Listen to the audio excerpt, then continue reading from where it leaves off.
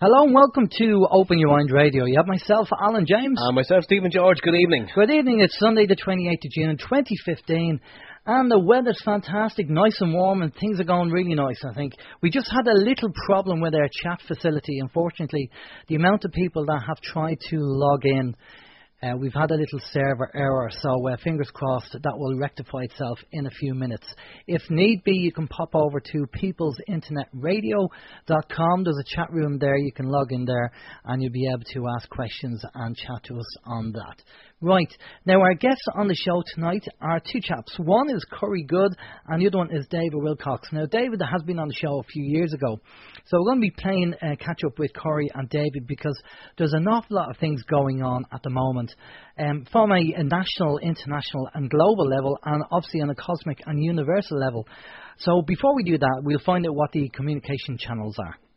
Yes, communication channels this evening are the communication channels are email info at oymireland.com, by phone 046 927 1212, and you can also contact us direct through the OYM chat room.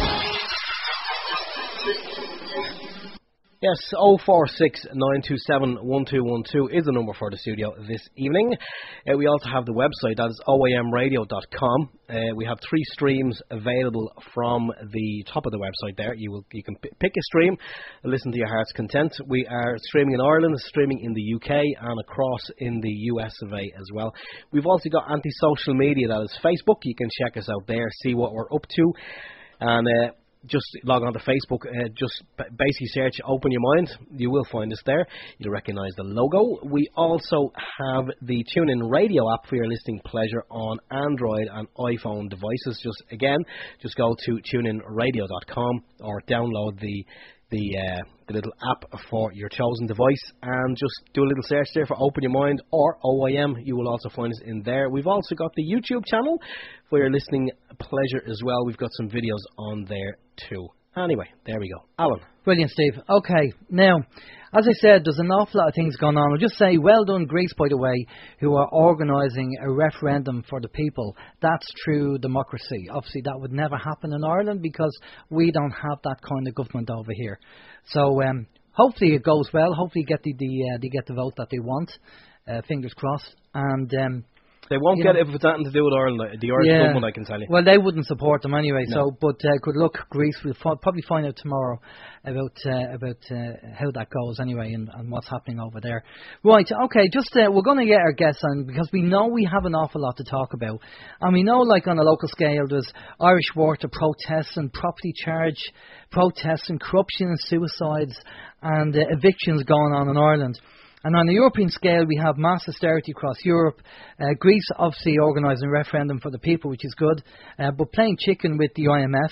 And uh, 1.6 billion due, I believe, at the end of the month that Greece have to pay the IMF.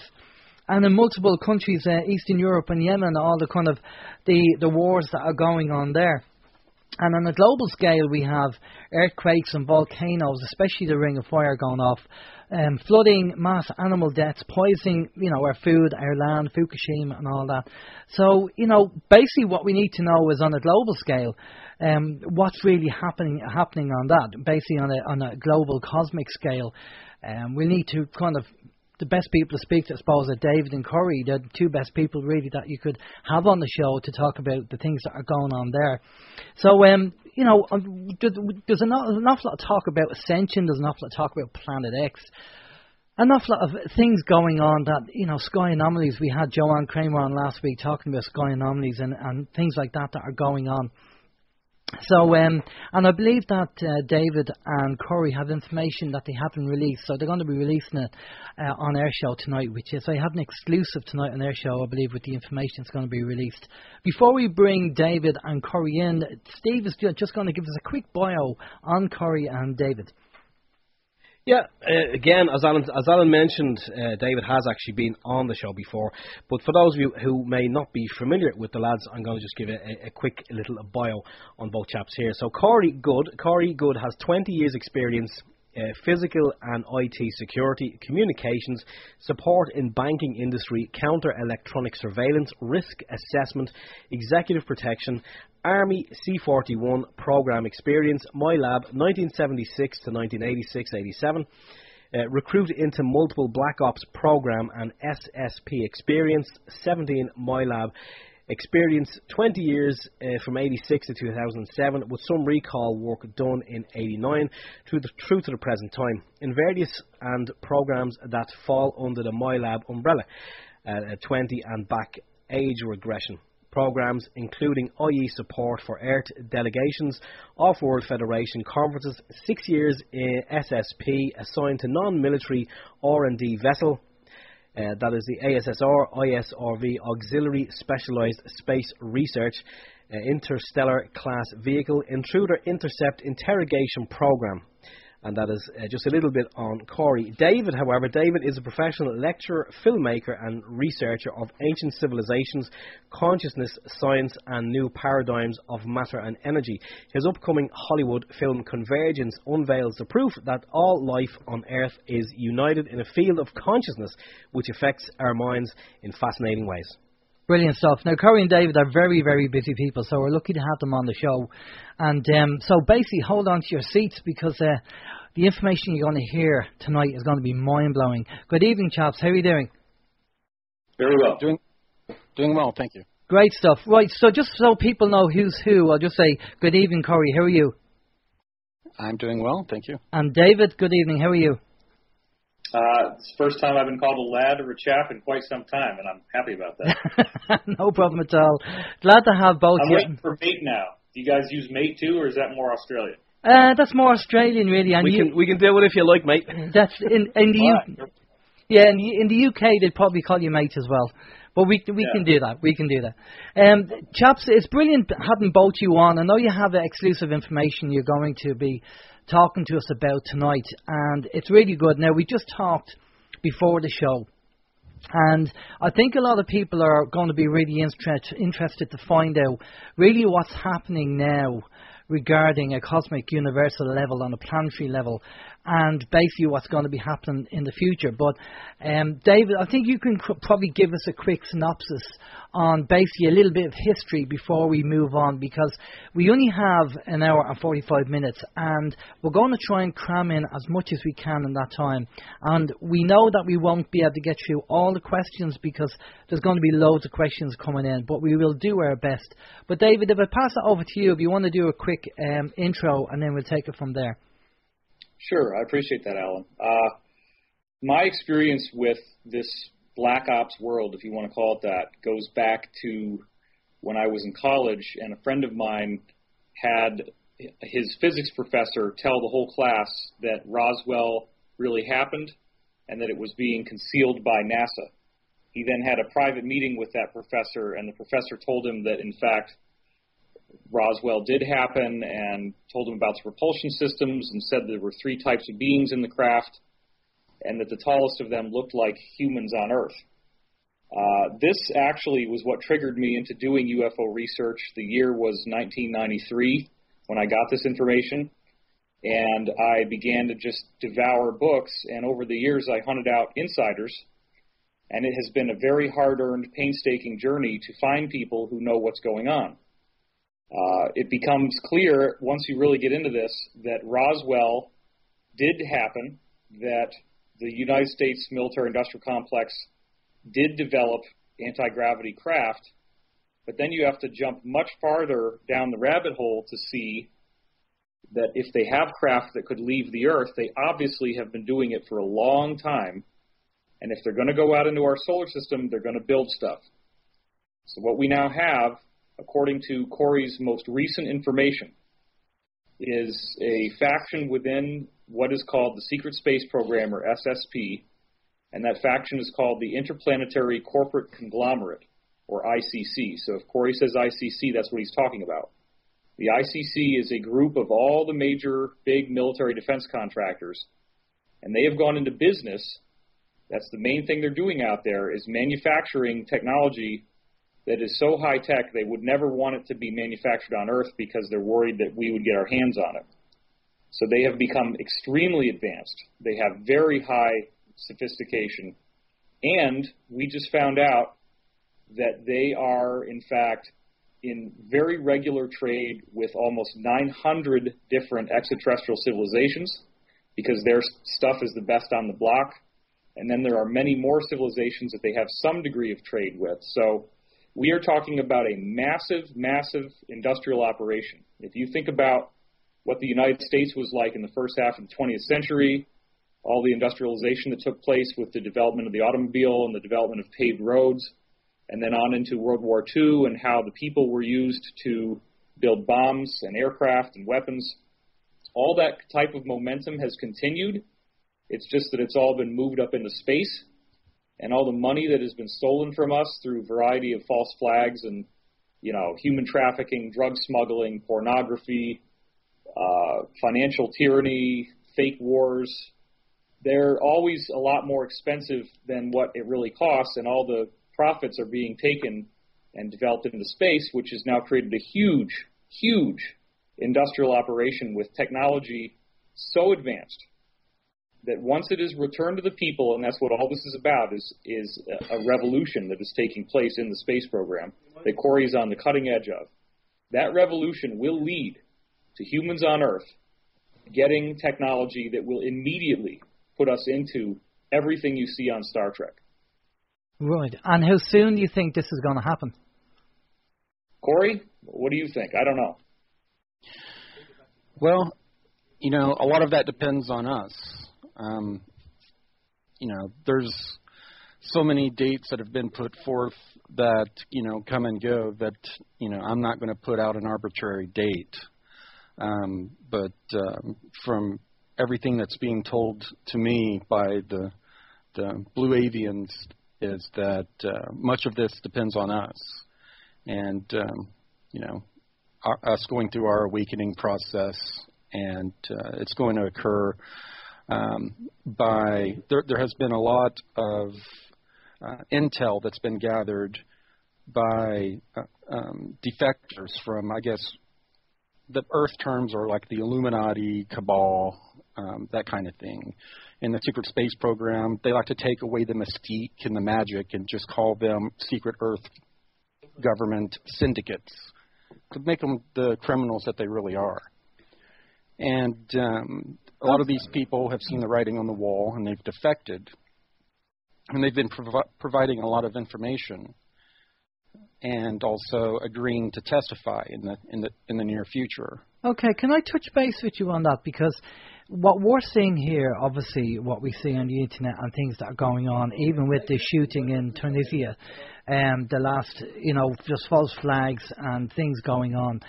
If the cabal are, if their back is against the wall and they realise that they're losing the battle and some are defecting over to the good side, surely we would we would see a ramping down or closing down of the the, the system and things starting to change. But what we're seeing from where what, from where we, we are sitting is uh, an increase. We're, we're seeing more of a totalitarian government. We're seeing Absolutely. more restrictions coming in. In Ireland, you know, we have a population of 4.4 million in Ireland. We're talking about two suicides a day. There's massive evictions going on. The banks are pushing and pushing and pushing, and just it's unbelievable what's going on. And on one hand, I'm hearing that the cabal have the back against the wall, and they, there are just defections going on. But on the other side, I'm physically seeing, um, you know, George Orwell, 1984, actually a worse case of that. Well, the answer is twofold the the I guess I'll, I'll go by the Earth terms, the Illuminati and Cabal, they've romanticized things among themselves, and they've said we will take everything and give nothing until there's a short drop and a sudden stop. That's referring to being caught and hung on a rope, being lynched, and a mortally wounded bear is at its most dangerous. So these types of false flags are actually going to pick up more. It's going to get a little bit more crazy before you see any type of ramping down. And on the second side, these energetic waves that are coming into the solar system, or actually, our solar system is entering into a part of the galaxy that is of a higher vibrational uh, nature. This is affecting the consciousness of a lot of people, and a lot of the lower vibrational, you know, service to self uh, type of people are having a very difficult time with this. And this is this is behind, you know, I mean, I, I on the television, I don't even watch television anymore. There mm-hmm. are, I used to every once in a while turn on the television, and every couple of days there would be a sh- there'd be a shooting. Now mm. every morning there's two or three shootings. Yeah. On the television, so it's sort of like an end times madness kind of effect it's having on the consciousness of of certain people. Well, I totally agree with you on that. I think there's we've we've reached some kind of energy where it's just I don't know what it, it's just some psychosis or something's happening with energy on the planet, and there's there's loads of things going on at the moment. I don't know what that is. Um, there's lo- there's loads of kind of negativity going on. There's loads of things, there's shootings and there's bombings and everything else, and it's just like uh, the the the lunatics are running the, the asylum at the moment, and it's it's getting concerning to a certain extent. Yeah, people are being triggered all over the place, and uh, it's uh, you know, and um, uh, I, I put out on my site that you know the Blue Avians stated to me that things were going to get worse before it got better, and that anchored a lot of people. They said, you know what, we've been through enough, we've had enough of a bad time. Yeah, I'm ready for it to be over. I do not want it to get worse, and um, I, I agree with you on that. There's a few people that I speak to and have said, look, we've had enough. We've we've been through it. Enough's enough now. We you know we're just getting impatient. Just press the button, do the reset, or do what needs to be done. Right. You know. I, now, I would like to define the term blue avians for a moment for those who don't already know what he's talking about, because some people have not read any of his stuff. Okay, go Thank ahead, you. David. Thank you, Dave. Yeah. Um, so in the 1980s, uh, one of my top insiders actually worked for Ronald Reagan. His code name was Mr. Do because he was like the Tesla of the Black Ops. He invented all kinds of weird technology. And so he was there with Reagan and Reagan's top advisors, the Joint Chiefs of Staff, in the 1980s when they were wrestling with a very astonishing thing that happened, which is an object about the size of the planet Neptune came into our solar system. It was cloaked. Uh, but it was very evident to them that it was there, and it started to circle the planets. It went to Pluto, circled around Pluto, went to Neptune, circled around Neptune, went to Uranus, and then once it got around there, they went out to intercept it with the craft that they have that we're not supposed to know about, going all the way back to Roswell and even before that. And the beings just said, We're peaceful explorers taking a cruise around the solar system. And the Cabal people said, well, get the heck out of here. You're not wanted here. And they said, okay, fine, we'll go, no problem. Well, then, as Corey has indicated, uh, beginning in the late 1990s, we had a huge proliferation of giant spheres come into our solar system. And I was following this story on a website called cyberspaceorbit.com. There was a guy, Kent Steadman, who was talking about what he called sun cruisers. And right on the NASA feed of SOHO, which is the Solar Observation Satellite, we were seeing these huge planet sized glowing objects coming and going out of the sun. And I wondered what the heck was going on. Nobody really knew back then. Well, it turns out that these spheres have been coming in all along, but then there was a huge spike of them around 2012, which coincidentally or not coincidentally is the end date of the Mayan calendar. Hmm. Uh, this is something that people can laugh off on the internet and say, oh, these guys are just making up a bunch of stuff. Yet I've heard it from multiple insiders who've demonstrated credibility that this is happening. And it is a very big shock to the space program because what has occurred is that these spheres have beings that have showed up in them that they have never encountered. Now, they've encountered many, many thousands of different types of extraterrestrial life, all of which are more or less hominid or human in appearance to some degree. They have a, they have a head, they have arms and legs, they walk on two feet. That's very standard. But what they haven't seen is these beings that have showed up in these spheres. It's caused great confusion And interestingly enough, the same faction of the space program that Corey worked in, which is called Solar Warden, actually has broken away from the rest of the space program, and they are the ones that started this initiative to defeat the cabal on Earth, to bring down the financial tyranny that is now threatening Ireland, that's now threatening Greece, and many other countries as well. And their goal is to get us all this technology. They couldn't have done that on their own. They don't have the capability.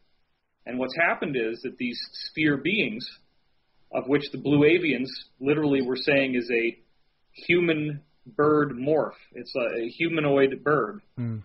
Uh, these blue avians are one of five groups that are helping ensure that we have this smooth transition into this golden age. But they have to do this under the prime directive. They have to follow free will, which means they can't just come in and rescue us. That would totally destroy what they're trying to facilitate. We need to be the ones to create the change. They're just going to help us. It's like the mother lion giving her cub a partially killed animal, but the cub has to finish off the kill. It's the same thing they're doing with us here. Okay, well, what about the negative ETs? They don't seem to be following any prime directive. They don't have a choice but to follow what is called the rules that several different insiders have told me about, meaning that we on Earth ultimately are in a holographic illusion mm. in which it appears that the negative is doing whatever it wants, but it's actually very tightly contained. And they try and try and try to do all kinds of stuff that would create mass depopulation, and those things are not allowed. So we have to really look at what is happening on Earth as a direct reflection of what has been permitted to occur by our collective free will. Right. Okay. Well, I'm going to read out some of the information here that it was on um, Corey's website, and maybe uh, both you can have a um, just uh, mention or talk about it.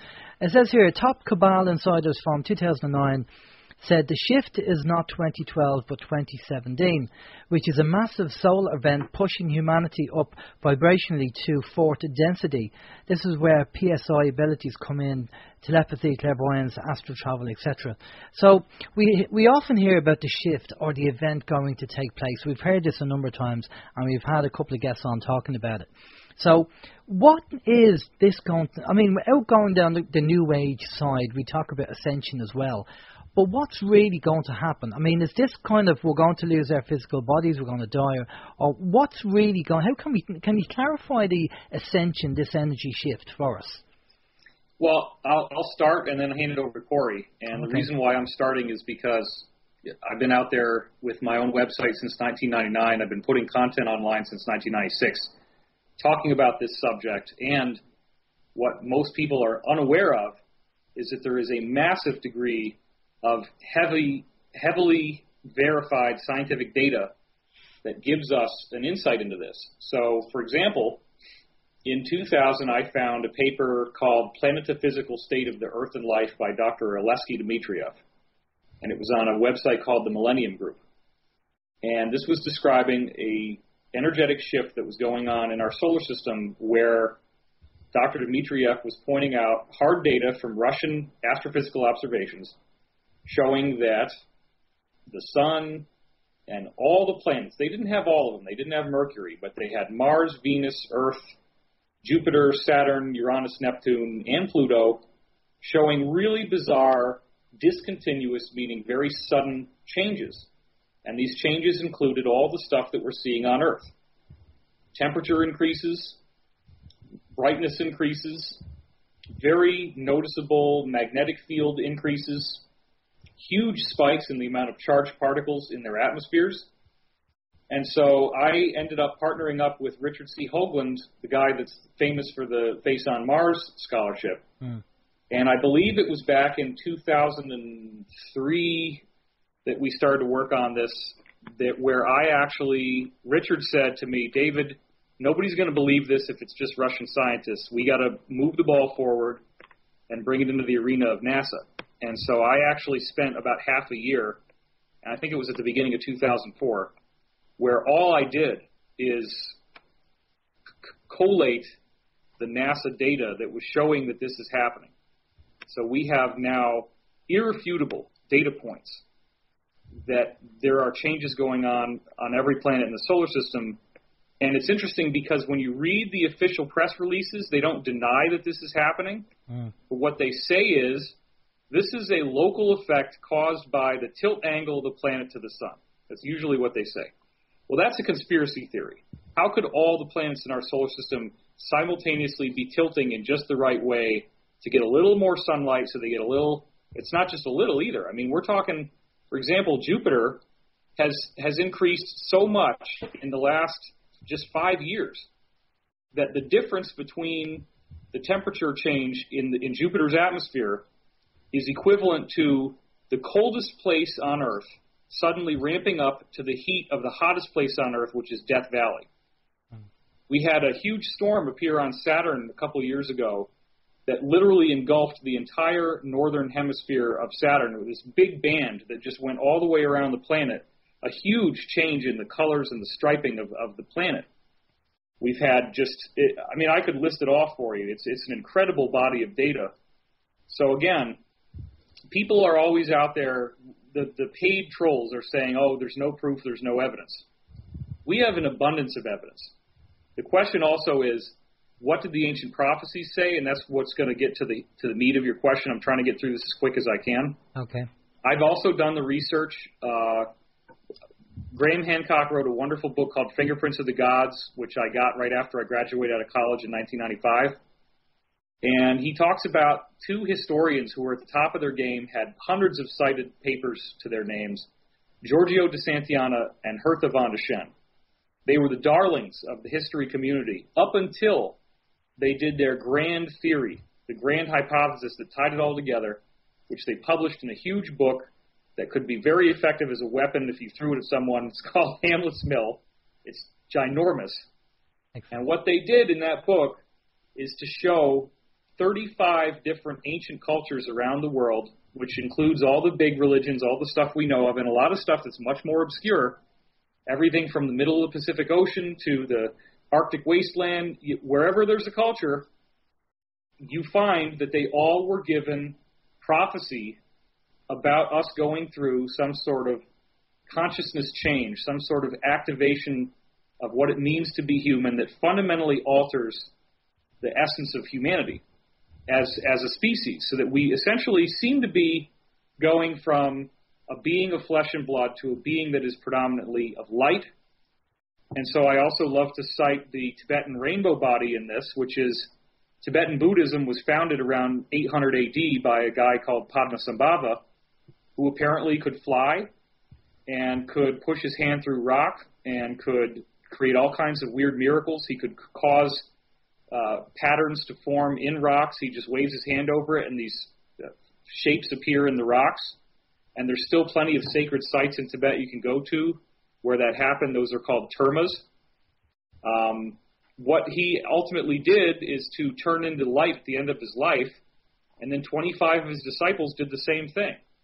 And when he turned into light, the light was rainbow colored. It was like beams of different colors, and so they called it the rainbow body. And there are a series of teachings that are specific enough and useful enough that the Tibetans have now documented 160,000 people who have ascended and turned into this rainbow body. And so then that would lead to the question, well, that's pretty freaking cool. Mm. What did they do? Yeah. And the, the teaching is actually remarkably simple. All you have to do, all you have to do, right? all you have to do is have every thought be a loving thought. Wow, that's going to be a hard one. I haven't so, gotten there yet. no. So, so what is happening is that on a collective level, that's like the Olympics, where you can actually get out of here anytime you want, turn into light body whenever you want, if you can make it to that level of perfection. But what's happening to us as a whole now is that our planet has turned into a pyramid. The original purpose of the Great Pyramid is the same thing. You go up into the king's chamber, there's a coffin in there. That's the granite sarcophagus. Oh, well, people say, oh, that means there was a mummy in the pyramid. No, no, no, no, no. The granite sarcophagus is an ascension chamber. The pyramid was originally built by the same beings who have now come back in all these spheres, and they made a grand showing back then, giving us this pyramid, which originally had mirror polished white limestone. That's been proven. The thing looked like a marble sculpture sitting in the desert, gleaming white. And you go into the sarcophagus, and if you have a person in there who's part of the priesthood, who's trained and has a, a special crystal they would use, you go through this horrifying ordeal where all of your negativity is shot up in your face. All the things you've done to hurt people, all the things you've done that cause pain, you have to face off against that. And it's a terrifying nightmare. But if you can burn off your karma in this nightmare and forgive yourself for what you've done, then you literally come out of that sarcophagus as a being who has ascended. Now, the, the Napoleon Bonaparte went in there and laid down in the sarcophagus overnight when France was in Egypt. And he had a terrifying experience. And he said, I will never go near that pyramid again. What's mm-hmm. happening to us as a planet is akin to the pyramid initiation. So, Alan, this gets back to your original question, which is it seems like the train is running off the tracks. Mm, yeah. It seems like the Illuminati are winning. Yeah. What's actually happening is that a certain amount of negativity is being permitted to occur so that we as a planet are getting that pyramid nightmare planet wide. We're seeing the negativity, all the things that we didn't bother to look at, that mm. we hmm. didn't care enough, that we didn't we weren't busy enough. We were lazy. We were watching television. We were drinking beer. We didn't pay attention to the stuff that was going on all around us. We didn't pay attention to a Luciferian cult advertising their Lucifer symbols in our faces in movies and music videos and the Olympics ceremonies and the Grammy Awards. All this stuff has been going on. Now we're seeing it and we're like, oh my God. And that's part of what cracks the shell that we built around our hearts, leading to the consciousness awakening that is predicted to happen in all these ancient cultures. These extraterrestrials told us what they were going to do. They put it in these prophecies. We lost touch with them. But the prophecies are real, and the electromagnetic changes in our solar system is just a physical effect of this vibrational shift, which is ultimately activating our consciousness. And in order to get the healing, we have to throw up. So if you throw up, you'll feel better, and that's what we're seeing right now on Earth. It's pretty ugly, but yeah, it's a necessary part of the process. Definitely, we are going through all right. It's it's it's it's it's pretty it's pretty bad. But Corey, what's your take on it? Excuse me. Well, as far as the dates, um, I when I was in the programs, there I, I had seen the dates that they had predicted a lot of this to happen were between the year 2018 and the year 2023. Hmm. And apparently things sped up, something happened. I, I haven't myself put out the year 2017. Um, that uh, I, I'm, I'm very careful not to put out dates. Yeah, you have to be very careful with that. Yeah, ju- just to, just to be clear. Yeah, and in the secret space program, the the people that are the scientists that were studying this, they they were actually going out and looking at these energetic clouds and studying them, and they're they're more nuts and bolts. They they weren't doing all the research that David was doing.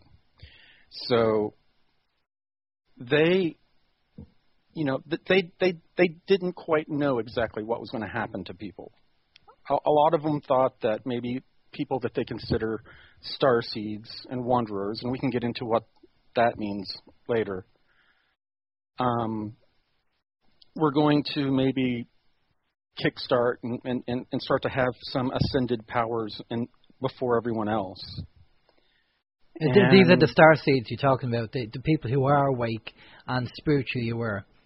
Correct. Yeah, okay. And they didn't know if everyone was going to start to have this waking, uh, awakening and uh, shared consciousness ability quicker than others, or if it was just everyone was going to have it at once. So from from my perspective, I think this is one of the reasons they guided me towards David Wilcock was he had done all of this type of homework, and he had a lot of other experience that I did not. And there's a lot of stuff that you know, he, it's, a lot of his information has gone hand in glove with what I experienced, and it's it's been really amazing to have the conversations with him about about some of this information. Okay. Now, talking about the, we, we mentioned before we went live about the Planet X Nibiru, and we know there's a load of uh, psyop out there. As one of our guests said to us, which I think is quite appropriate, if you bury the truth in the in the barrel full of lies, it's very hard to find.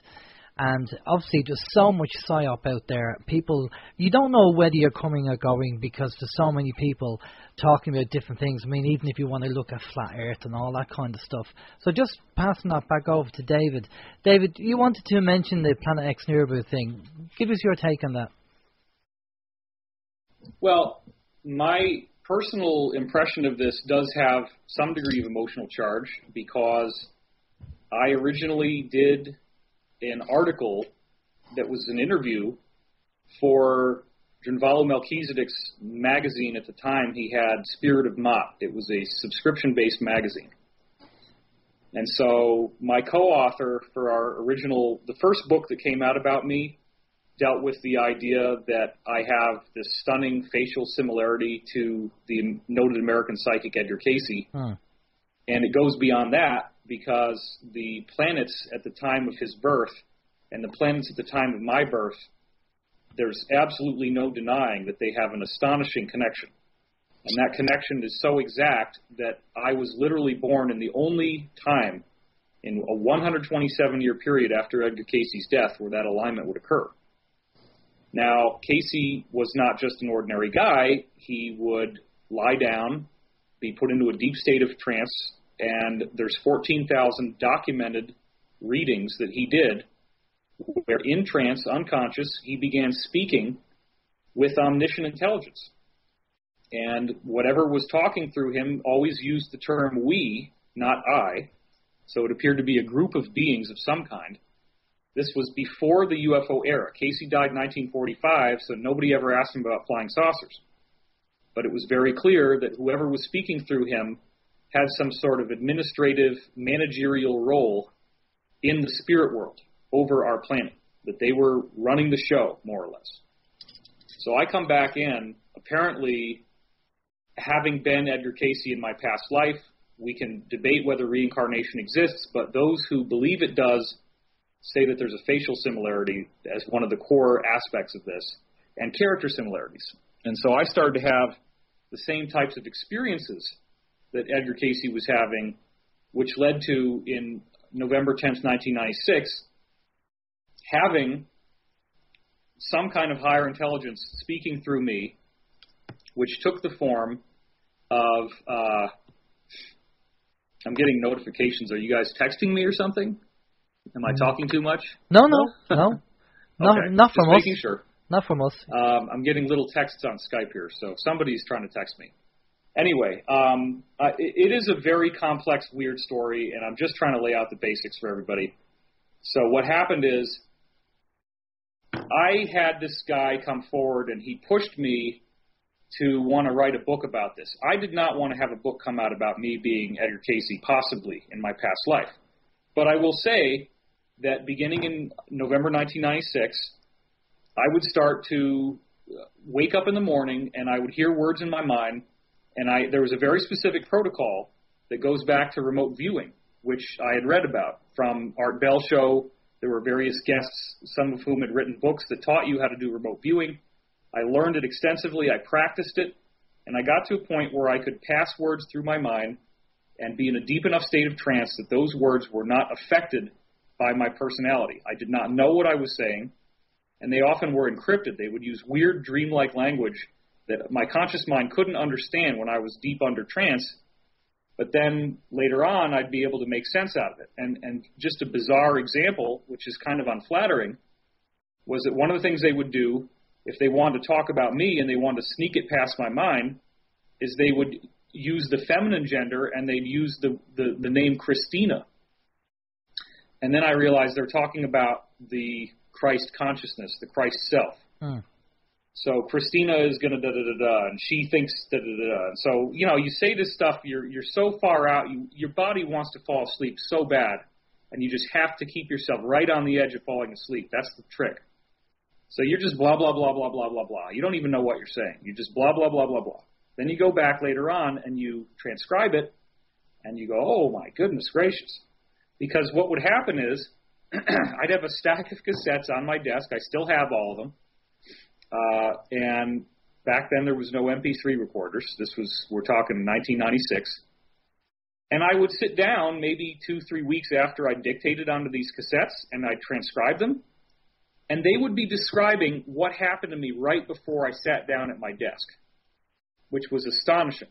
And it happened over and over again. I'll give you one example. There's many examples I like to use. I lived right next to Woodstock uh, in upstate New York. And I went down Route 28 and I went to Woodstock. And I went to this kind of hippie uh, deli. There's a guy in there who starts talking about uh, Joseph Campbell. And he's describing how Campbell says that religions are like different different pieces of software to access the same intelligent universe, which ultimately is all one and we're all part of the same thing. So religion is just software. So I have this whole conversation with him. I go back home. First thing I do is go up to my bedroom because I always want to hear what, what the tapes are going to say. Sit down, pop the tape in the recorder, hit play, start transcribing, and it's my voice talking on behalf of these beings and the first thing that my voice says is, we are now downloading new software. That frickin' blew me away. So when you have these experiences, and I'm not saying this happened once or twice, I'm saying this happened hundreds of times. One of the very first clients I had lived in uh, Tennessee, and he got a tape from me in the mail, not knowing what was going to be on it. He'd woken up from a dream that morning where he had a tripod and one of the three legs of the tripod wouldn't stay straight.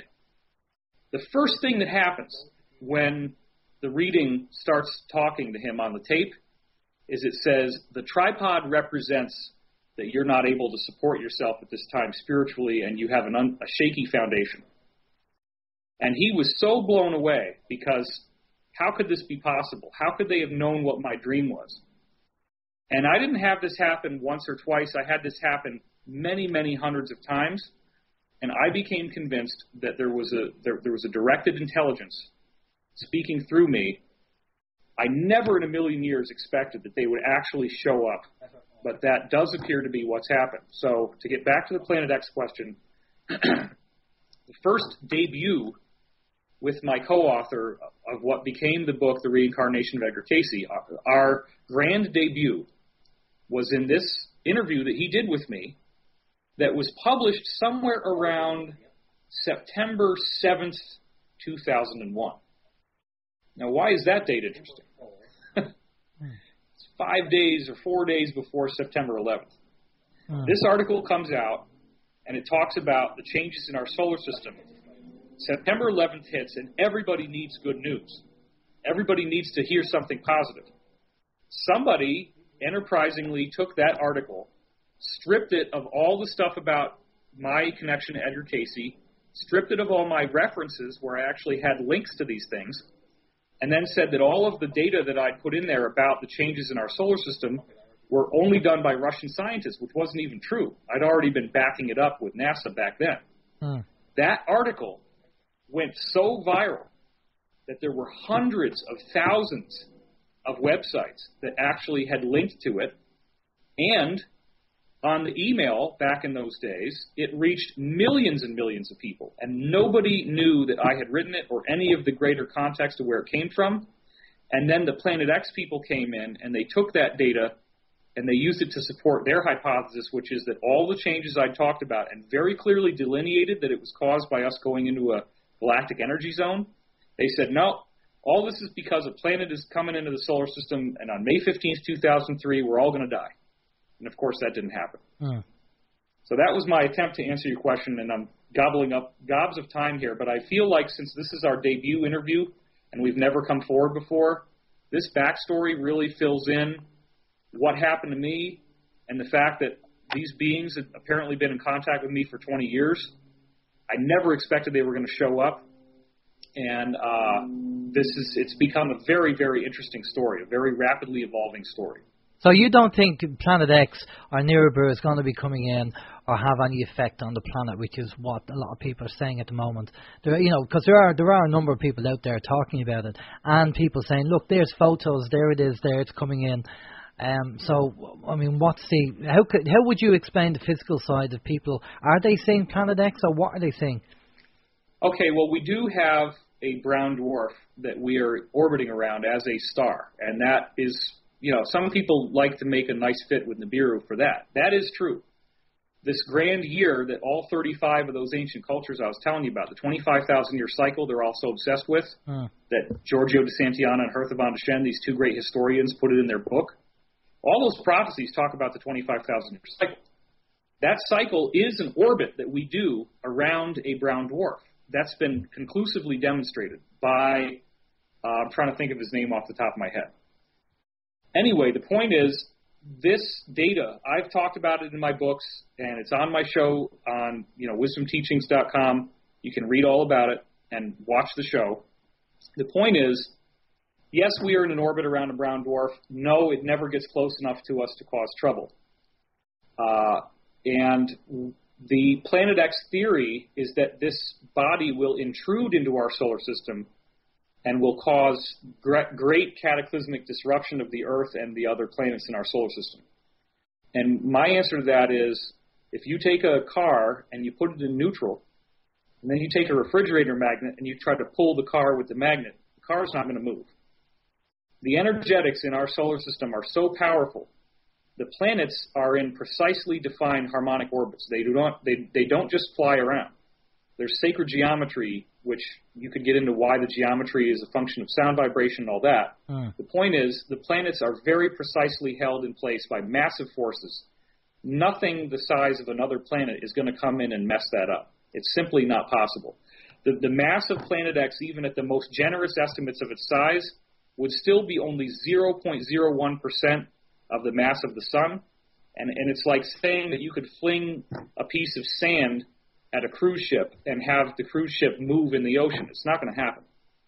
Okay, and Corey, have you, in all the meetings that you've done off planet, have you come across or had discussions with people regarding Planet X and Nibiru? Has that come into the conversation at all? What has come into the uh, conversation has been uh, that uh, we're a part of a uh, failed binary star system. Um, the uh, plethora, the, the the vast majority of star systems out there are at least binary in nature, and uh, we we do have a brown dwarf that uh, that is that we have in a dance going around the the galaxy that our our sun is doing. So, but nothing about an actual planet called Nibiru or any other name that uh, is a protruder planet that comes into uh, our solar system every 3,600 years that busts through the Oort cloud and uh, reaps havoc. Hmm, that's what they're saying. And so, with all the issues that we're having on the planet at the moment, I mean, we're getting heightened volcanic activity, we're getting dormant volcanoes going off, we're getting flooding, we're getting plate movements, we're getting extreme weather. I mean, stuff that we haven't had before, or we know of through records. What do you put that down to? I put that down to the um, the huge change in background energy, the the energetic. We're moving into a high energy area of the galaxy, and uh, as David talked about earlier, these changes are taking place on every planet in in our solar system, and our sun is having massive changes. Hmm. So, and uh, there, we have an immediate star cluster, not just our local sun, but there's a star cluster around us that is moving in to this region of space, and this the whole star cluster is experiencing these types of changes. And um, it has to do with the ebb and flow of these waves of en- of energy that are coming in like tsunamis and having an effect on on not only the um, the people, like we described earlier, but Yeah. also the the planets, the tectonics, the the weather, and um, uh, the the sun. having a major effect. And this ascension process, um, this shift that's going to take place, just kind of clarifying that, is this a physical shift? I mean, are we going to, what's going to happen to us from our physical bodies? I mean, are we just going to start developing uh, these abilities? Are our bodies going to change in some way, DNA, and or do we? I mean, what what is your take on this shift, or this ascension? Well, from my perspective, I've seen up up in the uh, research vessel. I've seen um, several different theories. Down here on the internet, I've seen an amazing number of theories. But from from my perspective, I don't think there's. In, I, I really don't think there's any way to fully know until we experience it. Um, there there are you know there are a lot of theories about it. Uh, it's definitely going to be a massive change in consciousness. And what you know has been proven, everything around us is vibration. Hmm. Yeah. All matter, all energy, even the thoughts right now in our minds, they're all different states of vibration. And as the vibration of our consciousness is raised, so is, and our and we realize the power of our joint consciousness, we can have a direct effect on matter and energy around us. Hmm. So, you know, that may be one of the first steps that we notice to start happening. That, Okay. That's, you know, kind of from my my, my perspective. Okay. Well, David has yeah. David's done a lot more uh, research into this and, and has a lot more theories on, on what what's possible. Well, I'll, I'll pass this. This is on your uh, site again, and I'll pass this over to David. And it says here on it was uh, question number four or uh, section number four. It said the people who are aware of this shift are going to have the best seats in the house. I also think all the people who have been bravely seeking the truth with varying degrees of success will experience karmic shifts of a lesser degree and will help anchor others around them. Each awake person will be a guide for others as things heat up before the event. David? Well, I totally agree with that sentiment you just read. Um, there is an ongoing debate about what we would call the gradual versus spontaneous theories. Uh, the gradual theory has an abundance of scientific evidence. We know that gradual DNA changes are already occurring to human beings. Mm. There's some really amazing studies that show that. For example, a University of Wisconsin anthropologist, Dr. John Hawks, studied the human DNA molecule, and this actually included DNA testing mummies. And he found that in the last 5,000 years, our DNA has evolved so rapidly that the overall structure of the molecule is 7% different than it was 5,000 years ago. Hmm. And that is totally unprecedented. There's uh, something called the Flynn effect, in which we find out that IQ scores are going up so fast that every 10 years they have to change the scoring system because a 100 is supposed to be average. That's occurring across 20 countries, including countries that don't have literacy. We also had a study that was recently done. Actually, it was done by the British, but it was based on American skulls going back to the mid 1800s, showing that the average cranial volume of the brain for an American has gone up in the last 150 years so large that the size of the brain on average has increased by the volume of a tennis ball. So if you took a tennis ball sized chunk of brain mass and shoved it inside somebody's head in a 150 year period, that's how much larger our brains have gotten. Hmm. And this obviously is not just Americans, it's just that, that was the base of skulls they had to study. I started to say a lot of people would have a lot of problems believing that with the way Americans have been behaving. I know where you're coming from, yeah. Yeah, no, I totally agree with you on that one. So these these data points are irrefutable.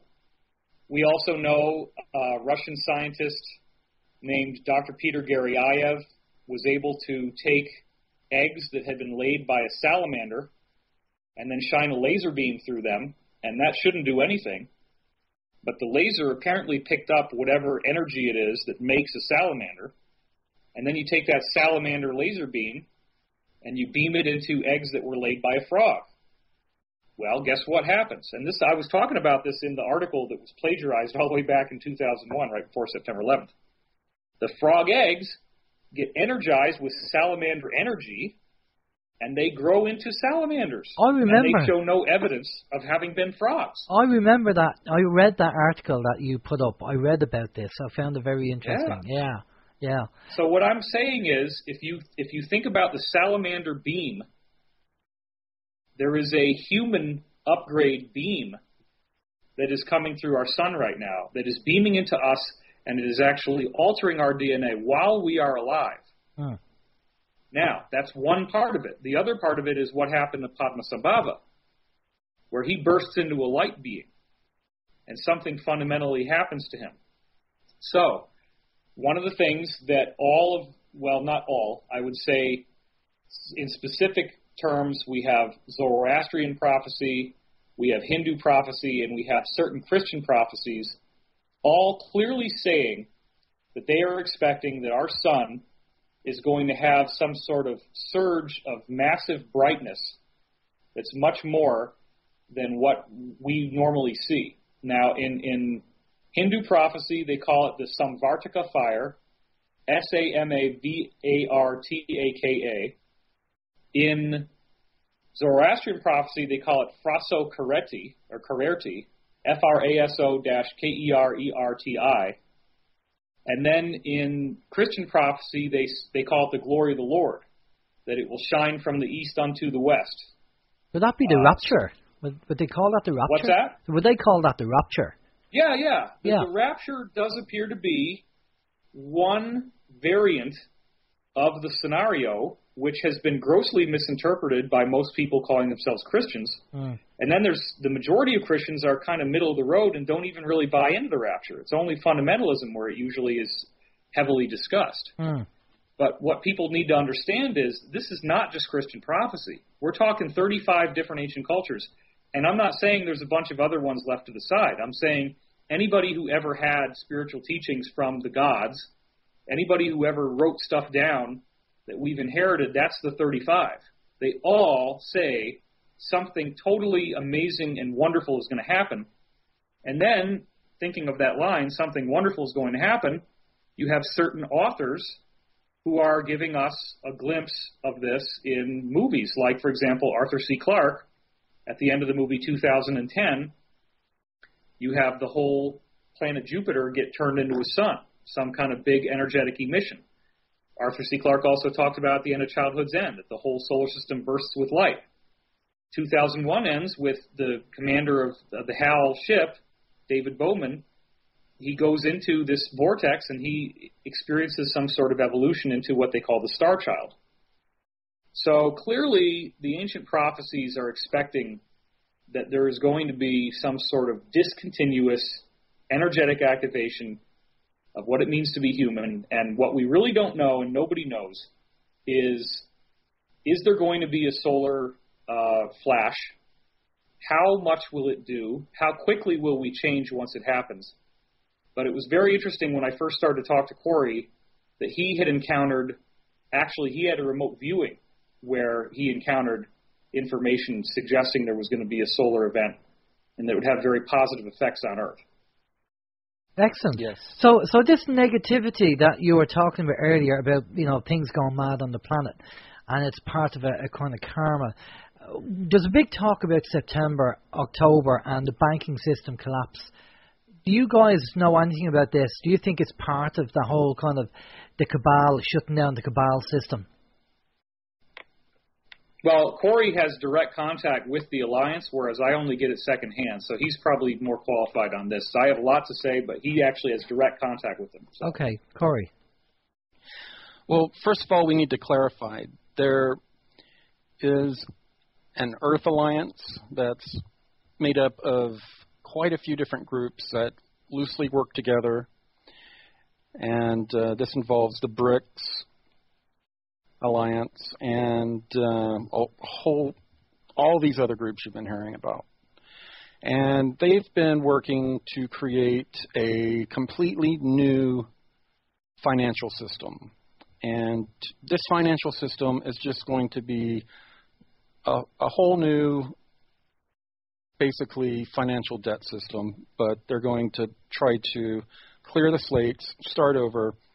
And um, from what I hear, a lot of the people in the East are saying the West had their 100 years, now the East wants its 100 years. Yeah. and um, from the information I've been getting, but they they should they should call the Illuminati. They should instead of the Illuminati, they should call them the Great Infiltrators. They have infiltrated just about everything you can think about, and they've infiltrated quite a lot of the BRICS groups and other parts of the Earth Alliance. And uh, we even had a problem with them infiltrating uh, some of the uh, Secret Space Program Alliance. And um, it, it, appears that um, what they're going to try to do is co opt it and try to set up a, a New World Order 2.0. Mm. And there, there are certain good elements inside the Earth Alliance, the, the, the Earth Alliance, that are fighting against this, don't want it to happen, that, that really want to set up a, a new, good, fair, equitable financial system. The Secret Space Program Alliance wants to bring down technology that basically is going to overnight do away with any need for a financial system.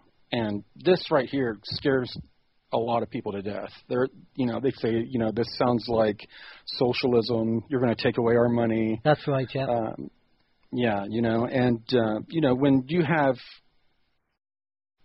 you know, food replication, you have free energy, you have harmonic and light uh, medical technology, technology that desalinates water and can turn all the deserts green, erase hunger, from the earth to where humans are no longer a burden on the earth, changes the way of life from us being debt slaves, working nine to five, coming home exhausted, watching a few hours of the telly, and then going to bed next day, get dressed, repeat, mm. to having a more fruitful life following our, you know, um, what inspires us doing what we want to. That's that's what they're attempting to do. These technologies that they would bring down would literally collapse all financial systems and the need for financial systems. Well, I'd I'd love now, for them to do that. There, there's always talk. There's always talk about a September surprise, an October surprise. Mm. There's going to be a financial collapse. Mm. And one of the things that has been t- mentioned is that we are going to need a financial collapse and an exposure of all of the criminal activities for the normal average Joes out there to become angry enough and to wake up and see that they have been fooled and, and, and criminals have been running things for so long to finally start to make the changes themselves. Hmm. I totally agree. I think that's that's what we need to do. The exposure. I mean, w- there's an awful lot of people over here in Ireland, anyway, woken up in all different levels because of the austerity that's going on, and people are beginning to wake up in mass, which is brilliant to see. But we need more exposure. We need more exposure of the criminals on what's going on. I mean, we can see an awful lot, but the trouble is we can't seem to do an awful lot about it you know, eh, I mean, an eye for an eye, is that really the right way to go when you don't really want to go down that way in a karmic way? So. yeah, absolutely not. And the way they've there there was a, a Disney movie called Ants, to where they had the grasshoppers that constantly had this mound of ants gathering all the food for them and and doing all the labor for them. And um, there was this one scene where one of the ants asked, I mean, one of the grasshoppers asked the, the head grasshopper, they're just ants. What are they going to do? And once all of us ants that we're, we're all bustling around in our little ant hill, once we stop bustling around and, and realize the power we have in numbers alone compared to this 0.001% or, or whatever, that alone has them terrified. They have to keep, they have to create strife between each other. They have to create racial tension. They have to create uh, disharmony between religions. Mm. They have to create all of these problems to keep us at each other's throats so we don't turn our attention to them. Mm. This is all manufactured on purpose, and it is done to keep us from turning our attention to them. If there is a, a large enough event that causes us to wake up and turn our attention to them, and there after that, you start seeing some data dumps of some of the Snowden information, the major Snowden information that he has that has fully been decrypted now, and some of the latest hacks that have occurred that you've only heard the tip of the iceberg about in Europe and the U.S. that has been done by the alliance, then this is going to be information that is going to it's it's really you know the eye for the, an eye for an eye thing. It's going to be very difficult to not have people wanting to to set up guillotines and uh, run the elites through guillotines. Well, you're just you know. talking about the French Revolution, basically, aren't you? You know, right. that's really what happened. You know, mm-hmm. they took out the guillotines and chopped off a few heads. Um, you did say you had an exclusive on the show, and I'm just watching the chat room there, and people are saying we believe Corey has some ex- information or an exclusive. Do you want to talk about that? Well, I'm I'm not exactly sure which bit of information is the ex- exclusive or not. Um, I mean, we've. Um, I, I, I'm, I'm waiting to be fully debriefed. When I, I was, many people know, the last week I was in uh, Boulder, Colorado, uh, shooting some interviews with Gaiam TV, and uh, there were really wonderful people out there. It was great. I um, missed out on a couple very big meetings, and the person uh, who goes by the pseudonym Lieutenant Colonel Gonzalez, who is actually a delegate with the Secret Space Program, attended two meetings in my absence. Uh, one of them was with uh, a Draco Alliance Federation, and the other one was with what we're calling a ET Super Federation um, Alliance Council, and um, some sort of deal was struck with this human-like ET Super Federation. Uh, having to do with some of the more positive ETs that have been stuck here on Earth since December, and also some sort something I, I had met I had gone to the meeting with the, this Draco Alliance, and I, I have refused to go back. It was such a, a horrid encounter. And um, he, it was his turn for this, I believe. And um, all I've heard so far is that he was told that they, he, our group were to succumb and agree to their demands, or it was considered an act of war by these Dra- these Draco groups. So I am still waiting for a full briefing on what this is all about. I have I have not heard the full details. Okay, and you'll be keeping people up to date on your website with that. Yes, as soon as I hear, I'm go- I'm going to write an update.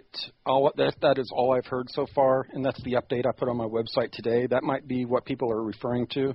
Okay. But uh, I have not gotten a full briefing on on on what had what occurred in those meetings. Just yet. Okay, I'll tell you what we're doing. Uh, we're going to do, guys. We're going to we're going to try and get as many questions as we can in, and we're going to quick fire them over. Now, I know it's very difficult to have a one or two line answer to some of the questions, but obviously we try and please everybody as much as we can. Steve, you have the uh, the list of questions, and um, we can take two or three from that, and then we can shoot over to the uh, the other questions. Absolutely, no problem. Okay, um, well, we'll, we'll throw this one at you, Corey. First of all, it says, could one of the reasons why the Blue Avians have put up a barrier with no passage exemptions be that the 2,000 to 4,000 species present in our solar system at any given time will be taking part at the future trials as defendants, judges, jurors, scholars, councils, etc., depending on each situation. Absolutely. That is very possible. They erected this barrier to make sure that every one of the beings that has that was present when they erected the barrier that has tampered with human genetics, with human society over the thousands of years that has, they call it this grand experiment, that no matter what their agenda, everyone is going to be held accountable. Okay. okay. that's great. We're just going to we're just going through the questions here. Um, there's one for we're just switching between yourself and David. Yeah, this one is for for David. It comes in uh, uh, from well, comes in from, from uh, someone who is very very interested in your work, and it says, "I was thrilled in your last update that you understood that only human energy has value." And that everything else, such as fiat monopoly money, is valueless. Are you aware of, or do you have contact with Lisa Harrison in Australia or Carrie Campbell in New Zealand? Uh, I'm not familiar with either of those names, so I don't. Uh, uh, also, the signal got a little choppy. So, are you asking about the loosh, the uh, the that the negative entities feeding on fear, that kind of thing? Uh, well, it, it's just again, it's in relation to human energy has a value. This lady says that she said that you did say in a, in a recent yeah. update that human energy has a value, and that everything everything else basically is valueless. Yeah. Okay. Um, so I think I get the the core of the question. Um, go back to the first book that I wrote that was a published book, and it's called Source Field Investigations. Uh, I have had an honorary PhD offered to me uh, just for the first half of that book. Um, there's a variety of red tape I'd have to go through, and I have to get a, a, a approval committee, and I have to kind of repackage some of the book as a as a doctoral thesis. But it wouldn't be that hard to do. Uh, I just haven't had time to deal with it. But the point is that I did create a scientific argument. People like to say that the haters like to say I have no science. It's totally not true. There's over 1,000 academic references in Sourcefield, and the core hypothesis is that we are fundamentally living in a biological universe. The universe is alive. And what life really is at the core is not flesh and blood, it's energy. And so the term that I chose for the energy was source field. It's interesting as the investigation is continued to find out that there are negative entities out there that feed on our source field. Uh, yeah. So all the science that I did to prove that there is a life force now supports this idea that the bad guys ultimately are feeding on our life force. And so as bizarre as this sounds, we have these Draco that Corey was just referring to. These are reptilian looking humanoids. They evolved through this scripted intelligence into a hominid form out of reptiles. So they still have reptilian features. And these are the core villains in our region of the galaxy. They've enslaved and oppressed many, many planets, not just Earth. They're just a factor that everybody around here has to deal with. Uh, they appear to have run out of time. But what they did with Earth is they custom designed a fear factory. They created a a generating mechanism that creates this energy they need to feed on, which they call loosh. And we are seeing our Earth-based governments doing very strange things behind the scenes, creating terrorism, false flag attacks, wars, all these things that are really detrimental to human life. And then you say, well, why are they doing this stuff? And ultimately, what we're going to find out is that although some of these people have zealously embraced the idea of reducing population and have very aggressively worked on those goals, which again and again are being blocked by the benevolent forces, but don't think for a minute they didn't want a nuclear war. Don't think for a minute they didn't want swine flu or West Nile virus to kill billions of people. Mm. Don't think for a minute they haven't tried to get World War III or, you know, spray chemtrails in the sky that would kill us or any number of crazy things they've tried to do. The real people who benefit from that stuff is these Draco because they actually they are replenished by human misery and suffering and fear and pain and jealousy and anger and materialism. All the things that that the earlier generation, pre-millennial generation, was taught to want from television and media. You know, grab for the gold, grab for the products, try to make as much as you can. Now you have a whole generation that's on the business end of that stick, and they're very angry. And they don't want anybody to make money. And when guys like Corey and me come out, invariably you see tons of comments from millennials saying, "Oh my God, they're making money." And so look, we're not trying to feed the Loosh system. We're just dealing with a system in which we do have to have money to survive. Of course. We can't do what we're doing without it. Well, it's a, it's an exchange of energy, isn't it, really? Yeah. And that isn't by nature bad. No.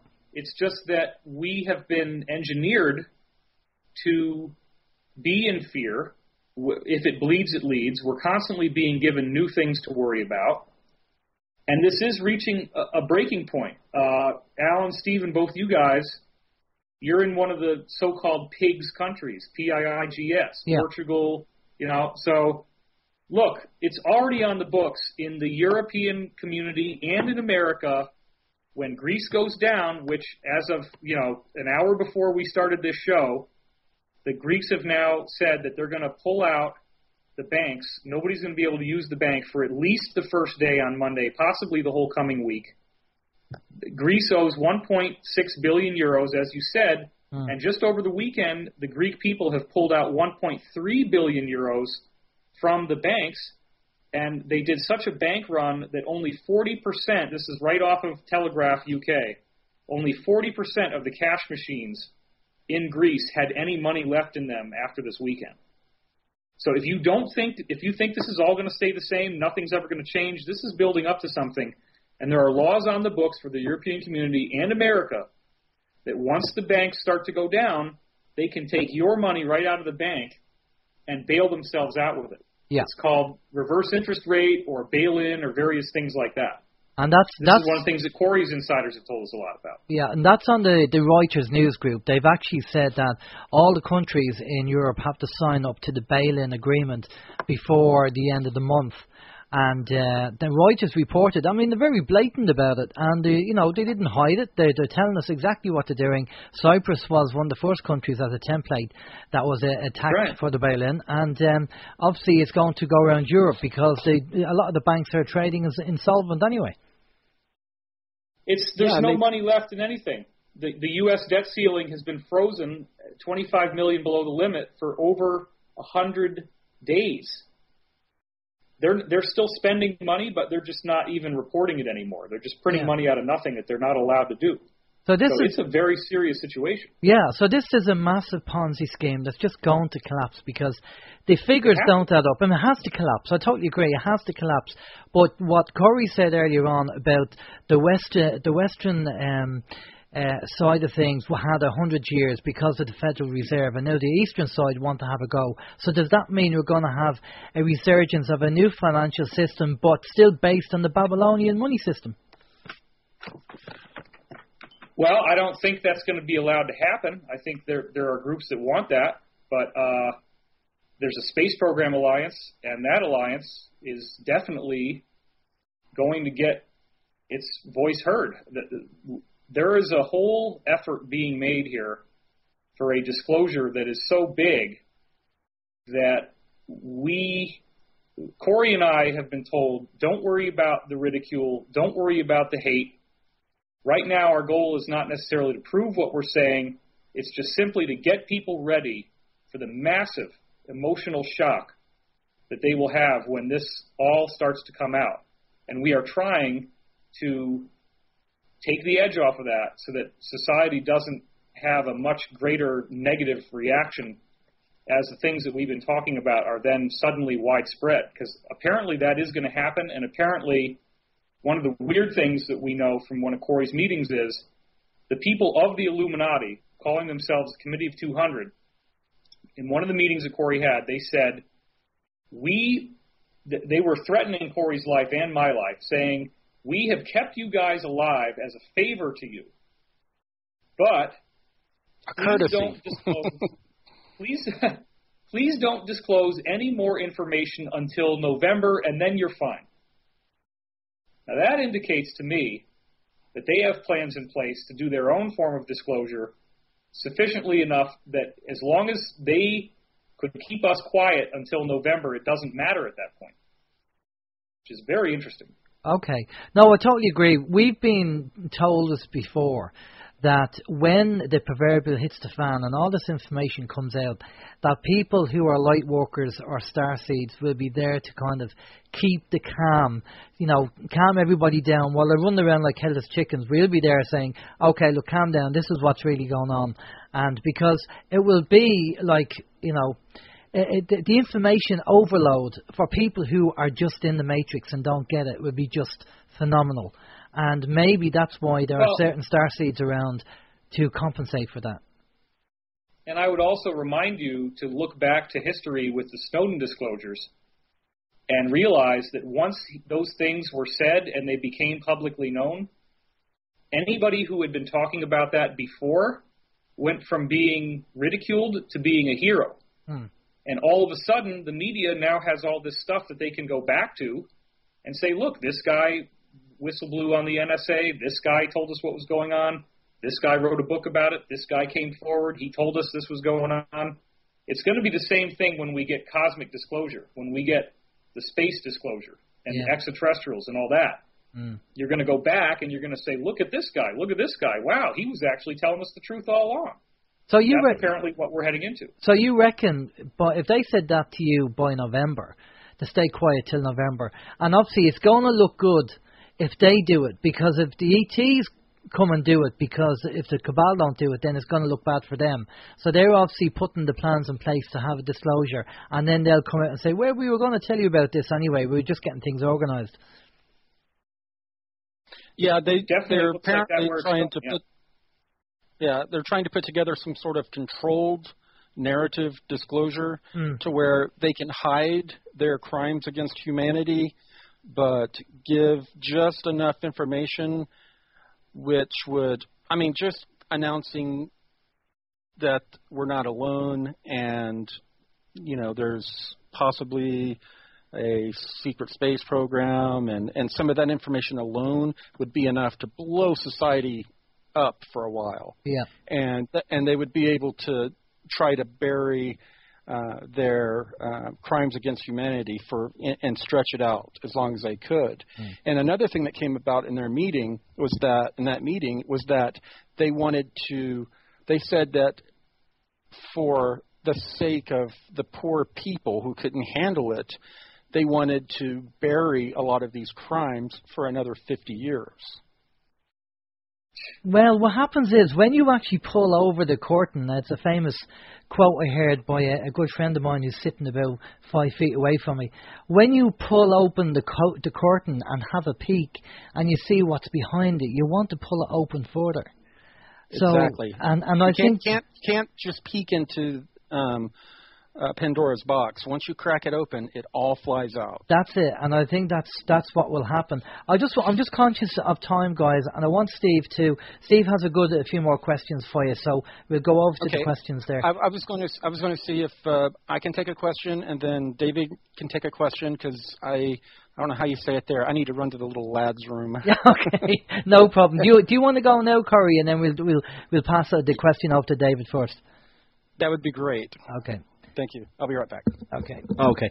Okay, we'll throw this one over for, for Dave. Dave, this one just came in online recently. and it said, uh, seeing that the Draco lives off of negative energy such as anger and hate, what would happen if we, the people, were to send out love and positive thoughts? What would that do to the Dracos?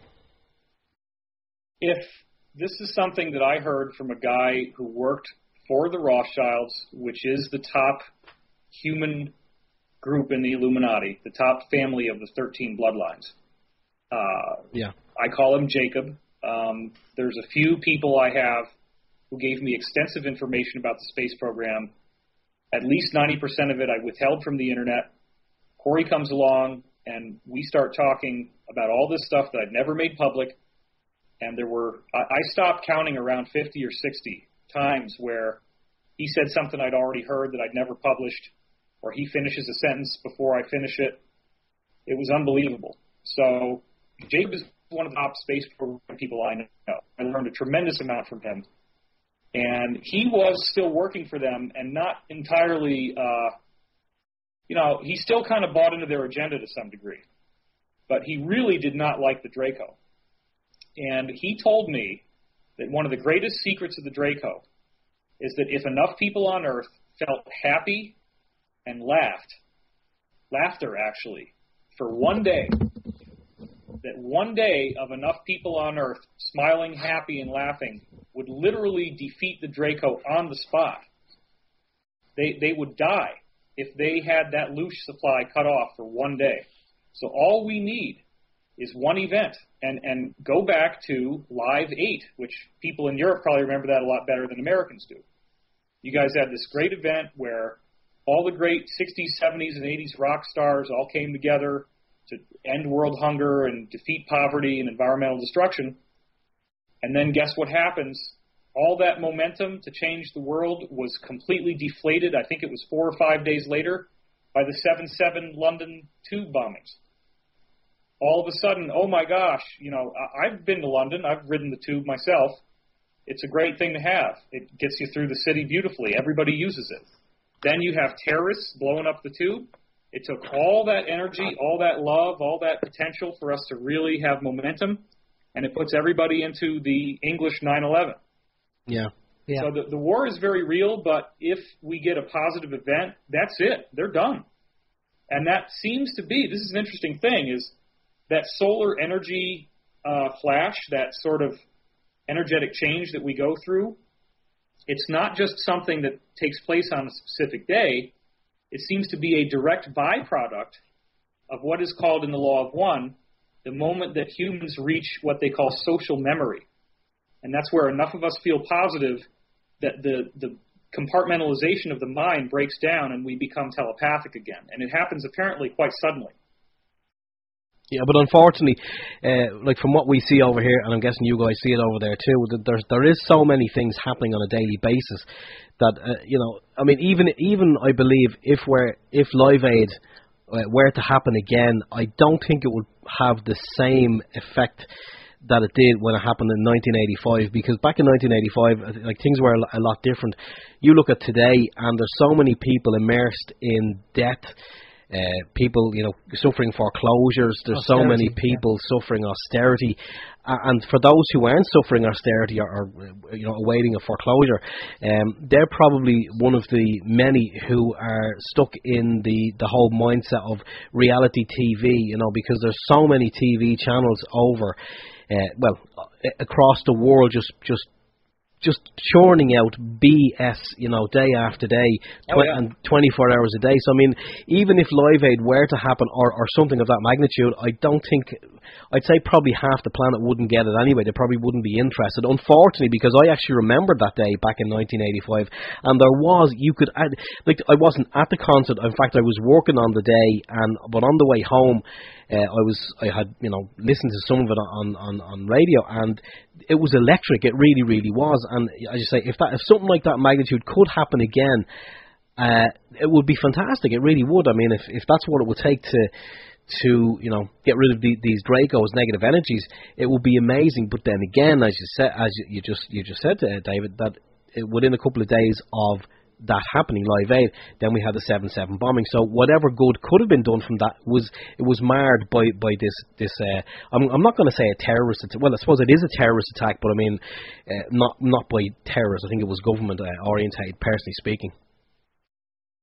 Well, just imagine a tribunal where the real people who have been pulling the strings in what Corey's folks call the secret Earth government are actually arrested, and then their crimes are actually revealed to us, as ugly and as dirty as that is.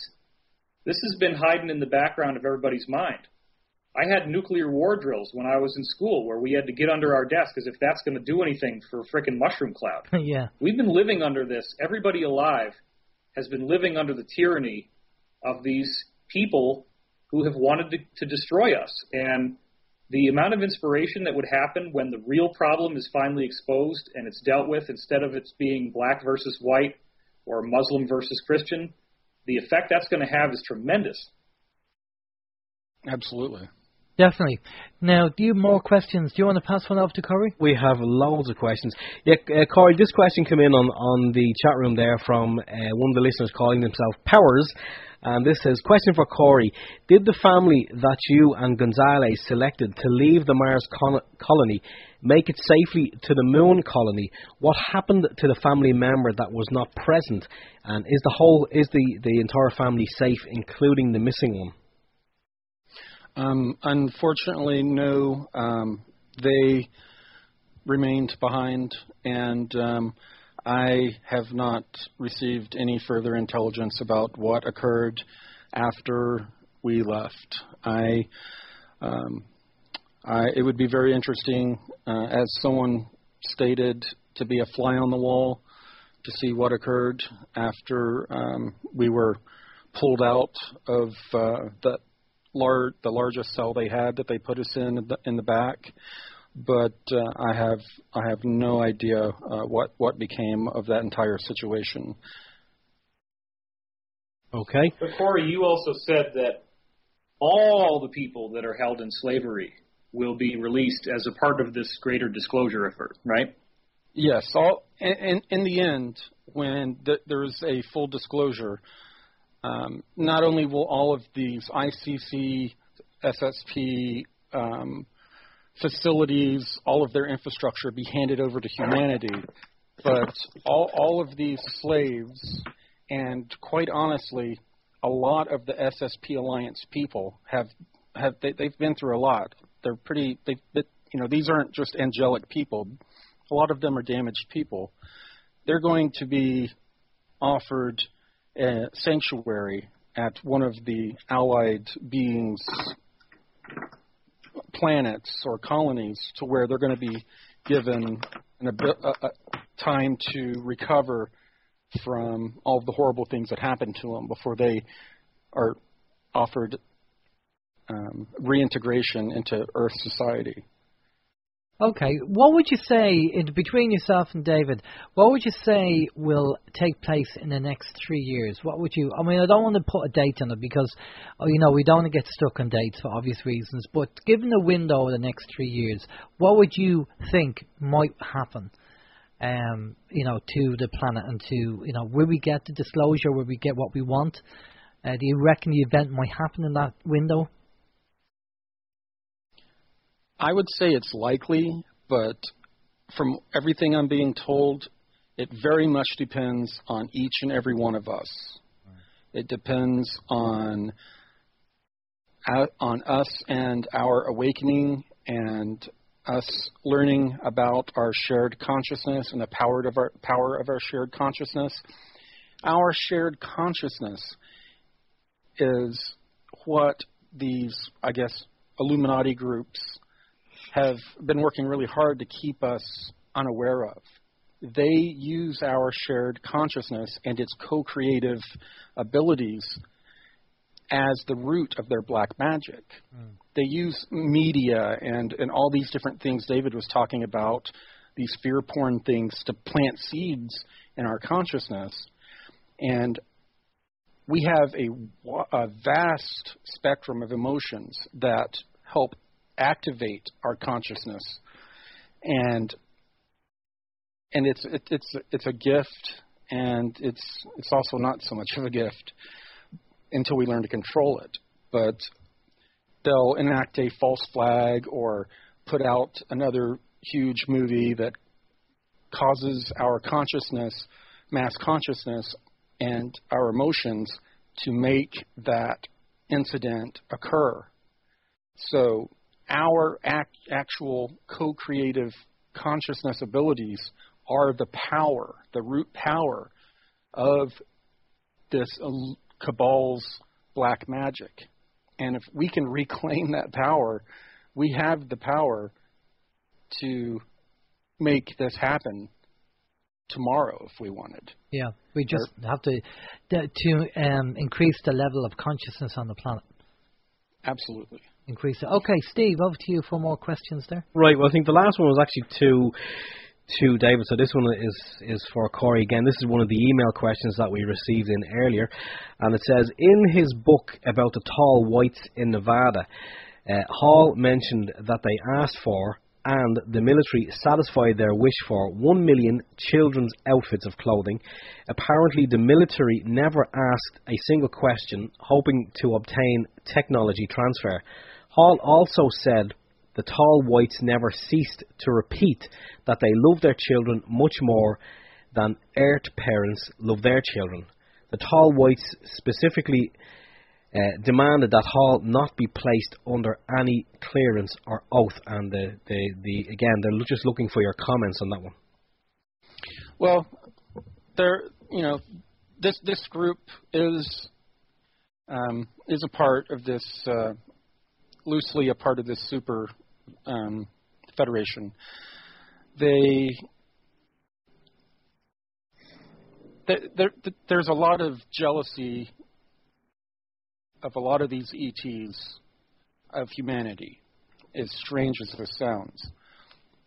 Through all the tampering of our genetics and our light bodies and all these all this tampering that they've done to this great experiment for all this all of these millennia, we have developed this extremely wide spectrum of emotions that they only experience a narrow band of. And the problem is we don't know how to control them, and we're ruled by those emotions. So a lot of them are very Vulcan like and see this as a weakness. They have very strong and narrow band of emotions. And yes, they would see I'm in full control of my emotions and I fully love my offspring. And some of you, your people, murder your children or do this to your ch- other horrible things I won't mention to your children on your planet and, and make comments like that. But um, you know there there there is a definite disparaging feeling from a lot of those beings towards humanity. Well, they say about like uh, us doing horrible things to our children, just out of curiosity, uh, would the the likes of vaccination programs would, would that be considered being abusive to our children? I believe so. I I I def I'm not going to name the name, but uh, I worked for a pharmaceutical company that uh, produces that produces vaccinations, and uh, I spoke to uh, the uh, the by the engineer bioengineers, and uh, they said that they do not give their children the vaccinations.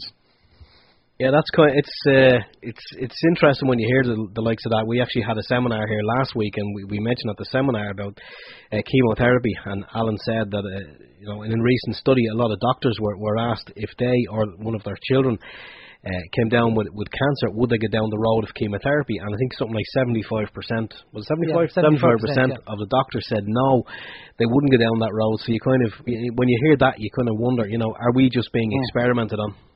Mm-hmm. Yeah, time. it's, it's horrible. Okay, so basically, I mean, do you have more questions there? We, do you want to crack on? pages, pages, pages of questions. and pages. Those are, I'm yeah. just because I'm just I can only imagine. okay, go ahead. Give, give us another one there. Okay, who who we got? We go with uh, with David this time. Well, actually, I suppose both both of the lads. This this one come in from Chris. Chris is a long time listener of the show, and and he, Chris has said, uh, "Hi lads, could you ask David if possible? Has has he ever con- has he ever considered, or is he concerned that he may be being used?" Uh, to spread disinformation as some of the predictions, the recent predictions, have not come to fruition? Well, always as an investigator, my role is to be skeptical of my sources. Uh, we do know that there were plans in place to have mass arrests and that events occurred that destroyed the lives of the people who were planning them. And for example, there was a case that showed up in the news for a while where this guy actually goes into the White House, I think it was the White House, and shot people. And it's one of these false flag, you know, lone nut gunman kind of things. Hmm. There have been multiple attempts to try to get mass arrests to happen. And unfortunately, I am guilty, as are others, of wanting to talk about this and wanting to get too specific about when and how and actually tipping off the enemy so that they were able to eliminate that from happening. And Corey, in fact, one of the things that you and I first talked about when I first started to talk to you was how there had been several attempts that were made that got infiltrated like this, right? Absolutely. Yeah, the they they infiltrate everything. They're they're extremely good at that, and and also there's that uh, um, AI um, technology aspect to the equation to where they can um, see probable futures and uh, are able to sidestep problems like that. Well, I know when David was on the last time, we were actually talking about this. And David, we were talking about the looking glass technology, and I remember you saying that, uh, you know, we were talking about 2012, coming, to, coming up to 2012, and you said that they couldn't get beyond 2012. There seemed to be some kind of timeline shift or a change in the timeline where you couldn't see past that. Do you have an up to date on that? Do you know actually what happened? Are they still using looking glass and are they still having that problem? The latest intel that I have dovetails with what Corey is saying, and also some of the intel for, was from people that he introduced me to. Hmm. Nobody expected in the cabal the events that are now happening at the speed that they're happening. They had they had foreseen that the sequence of events that's now taking place would occur, but they thought they had a lot more time. Yeah. And that therefore does indicate that although apparently some technologies can still view probable futures, it's not like it's completely blanked out. Hmm. It's no longer accurate. It's no longer serving them in a functional way. And they are ever increasingly being surprised by unexpected events that they could not have anticipated and therefore prepared for before they happen. Yeah, yeah. Because we've we've heard from uh, another guest who actually said that because there was a where he feels anyway, based on his research, that there was a timeline change, and although certain things were supposed to happen, because of the the energy coming into the the, the universal solar system, and made various changes. That the timeline, the kind of negative timeline we were supposed to be on, is now on we're on a positive timeline, and maybe this negativity is just part of the eh, you know we're going down the birth canal, and there's going to be a few pains, but at the end of it, it's going to be joyous. I mean, I think this is his take on it. I mean, absolutely.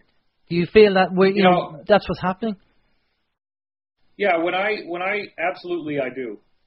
When I was in contact with uh, Jacob, who, as I said, was this guy that worked for the Rothschilds in the space program division, and was actually very directly involved in helping them in many ways, uh, and also working as a whistleblower at the same time, and actually got in a lot of trouble for it more than once.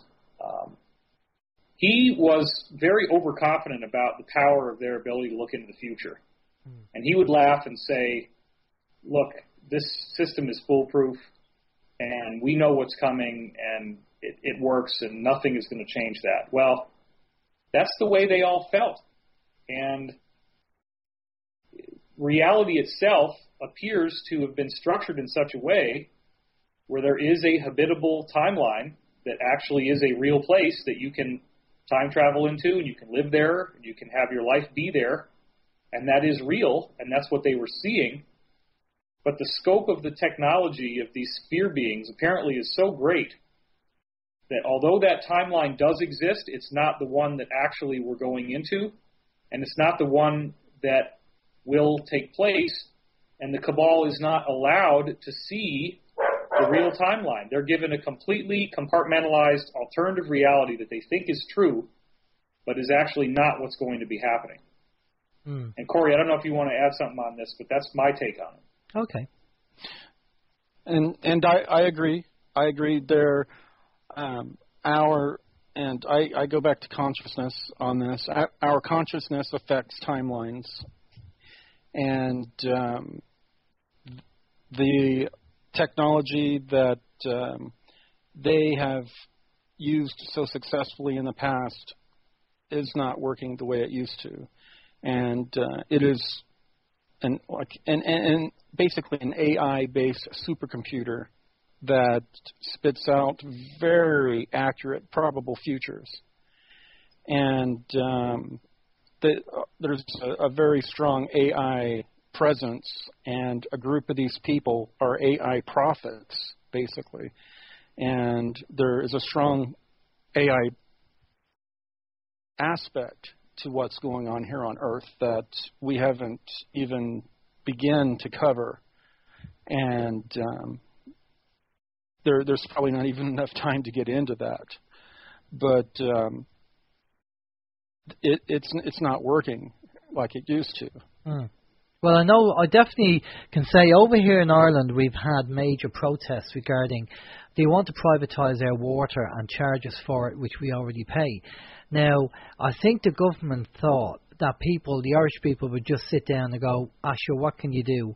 And not do anything about it. But we've had mass protests and people adamant that they're not paying it. I mean, at least 700,000 out of the probably just over a million people that should be paying it aren't paying it, and there, we had ceremonial burning the bills in the middle of the main street in Dublin and certain areas around the country. I mean, the consciousness in Ireland has risen on a phenomenal level, and it's brilliant to see. And the government did not and the people who manipulate. I mean, Europe control all the countries, as you know, and um, I don't think they expected the people of Ireland to do what they did. Well, yeah, that's just absolutely ridiculous. I mean, I mean, what are they going to start charging for oxygen next in the air? I mean, water falls out of the skies.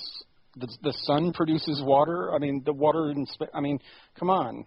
Yeah. Uh, that's that's just absolutely. The more ridiculous they get, and the more draconian they get on the laws they pass, the more it's going to force people to wake up. And that's what's happening. That's exactly what's hap- happening over here in Ireland. Even people who are very law abiding are turning around and saying, ah, no, you're ridiculous. You're taking the P now. We're not going to be doing this. Where are you going with your laws? And they're trying to sneak in laws underneath the radar you know, our government, and people are, are looking at it and going, "Now, hang on a minute, I'm not, I'm not doing this. You can send me to jail. I'm not doing this." And this is what's happening over here in Ireland, and it's brilliant to see. I mean, I've got an 86-year-old auntie who doesn't want to pay the water meter charges. They're saying, "Why should I pay it when I pay it already in my taxes?" You know, and she's 86, and there's loads of people around the country who are just saying, "No, look, lock me up. Go on," you know, and um, I mean, what are the government going to do? They're so frustrated. They've really woke up, and th- this big thing that's happened in Ireland with the water has woke up uh, so many people over here in Ireland, and even in Europe. With what's going on around Europe, um, so many people, Greek, especially the Greek, uh, the, the Greek situation, that's woke up an awful lot of people as well. So you know, I think the consciousness of the planet, just to kind of finish up, because I know we're up against the clock here, but just to finish up, I just think the consciousness of the planet and um, it's happening. I think it is happening, and on an exponential level, I think it is increasing, and hopefully we will see disclosure quite quickly, and you know, um, a light being shone down them rabbit holes where we'll actually see what the cabal did and what they were up to, and they will be exposed. And fingers crossed, you know, that's um, that will happen in the next couple of years. But I'll just say thanks to Corey and thanks to David. I definitely think we're going to have to do a part two.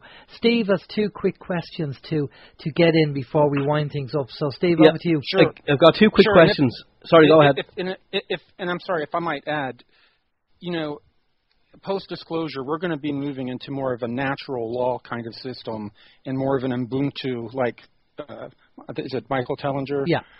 Uh, type system. And uh, we, we speak more about this um, and, and I know it's a lot to cover in two hours, and, and I'm sure we can do maybe a part two later. Of course, yeah. we speak a lot. We speak a lot more about this in our in our Gaiam TV interviews that you know people can look at. Brilliant. No, we'll definitely do a part two. Steve, do you want to throw them two questions Yeah, over? we've got two questions and a, and a sneaky one as well. uh, uh, There's first, always a sneaky one. Are, you, a- are you watching the clock? You I'm watch watching the right. clock. I'm watching. Yeah, the first question is from Mike. Uh, Mike Mike says massive U.S. and NATO troops and military equipment have been transported all over Europe, and it's obvious that all this massive build-up over the last weeks and months is in preparation for a large war against Russia on European soil. There also have been countless prophecies about this major war against Russia and Germany being the major playground. Once again, do you have any intel on this? Are we really close to a war?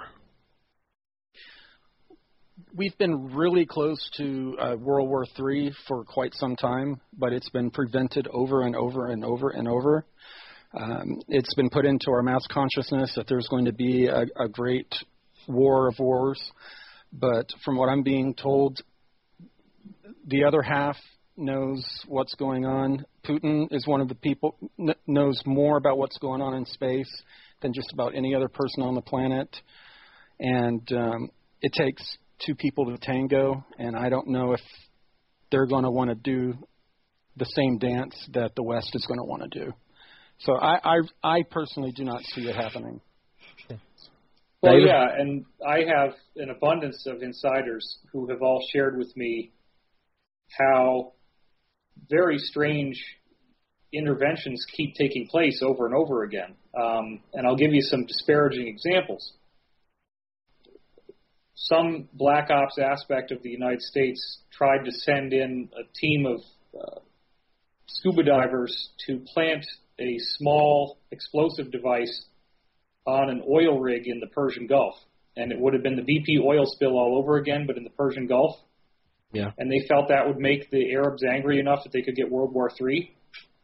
And the scuba divers tried for 12 hours to swim to the rig with the backpack on that had the bomb. And there was this barrier in the ocean. And it was they, they reported it as being like a elastic rubbery skin was invisible to the eye but the farther they tried to swim into it, the more it would spring back and, and push them back away from it. They tried to go over it, they tried to swim over it on the surface of the water, they tried to burrow under it, and after 12 hours of total futility, they decided they couldn't get through it. They've done all kinds of stuff. They had they tried to roll tanks into Syria and the tanks wouldn't start. They tried to drop a bomb on somebody and blame it on a false flag, and the bomb bay doors wouldn't open. They've had aircraft that were loaded up with all kinds of, uh, you know, dead bodies and stuff. That was one of the things they tried to do with Russia. The MH17 crash. There's a huge story with that. So they they will try, but they're not allowed to succeed over and over again. Yeah, we heard something about CERN that that uh, the, the the whole CERN thing as well. That certain powers that are outside of uh, obviously this reality are making sure that doesn't that doesn't happen as well. None of that stuff's going to be allowed to happen, and that's such an important point. People have we're so conditioned by action movies to think of the hero coming in and vanquishing the villain in a hail of gunfire. And people are trained to believe in that script, so a lot of people are having trouble with the sphere beings because they say, well, why don't these great ETs come and save us? But what they're actually doing is so much more cool than that. They're keeping the villain from being able to win, but they're leaving it up to us to finish them off. Okay, that's that's fair enough. Steve, you got another one there? Yeah, again. Is this a, is this the sneaky one? Uh, no, the, sne- the sneaky one, which which you, we may not get to because it was just one. One of the listeners want to know what, how how you guys feel about Cobra. Uh, but if we if we get to that point, but uh, Derek was wondering, will you ask David and Corey to leave us with some new pieces of info as he did on the Fade to Black show, and possibly, yeah, well, same question to Corey as well. Well, I think you're kind of double dipping there because Corey already did that. Um, we okay, I'll give you one piece of intel, which is not really that extraordinary, but it is for Corey and me personally. Uh, I have yeah, two I shows on Gaiam TV. I have two shows on Gaiam TV. I have Wisdom Teachings, which has about 130 episodes, and I have Disclosure, which is now going into its second season. And I interviewed all the biggest names like Graham Hancock, John Anthony West, Robert Bauval, bunch of really great folks. Gaiam had a policy that I was not allowed to do more than four interviews with any one person uh, on my show, and usually it was only two. Graham was an exception, but even with the exception, I think we only got maybe six. Uh, so we went in there to do this show. It was going to originally be, you know, part of the season two of Disclosure to interview Corey.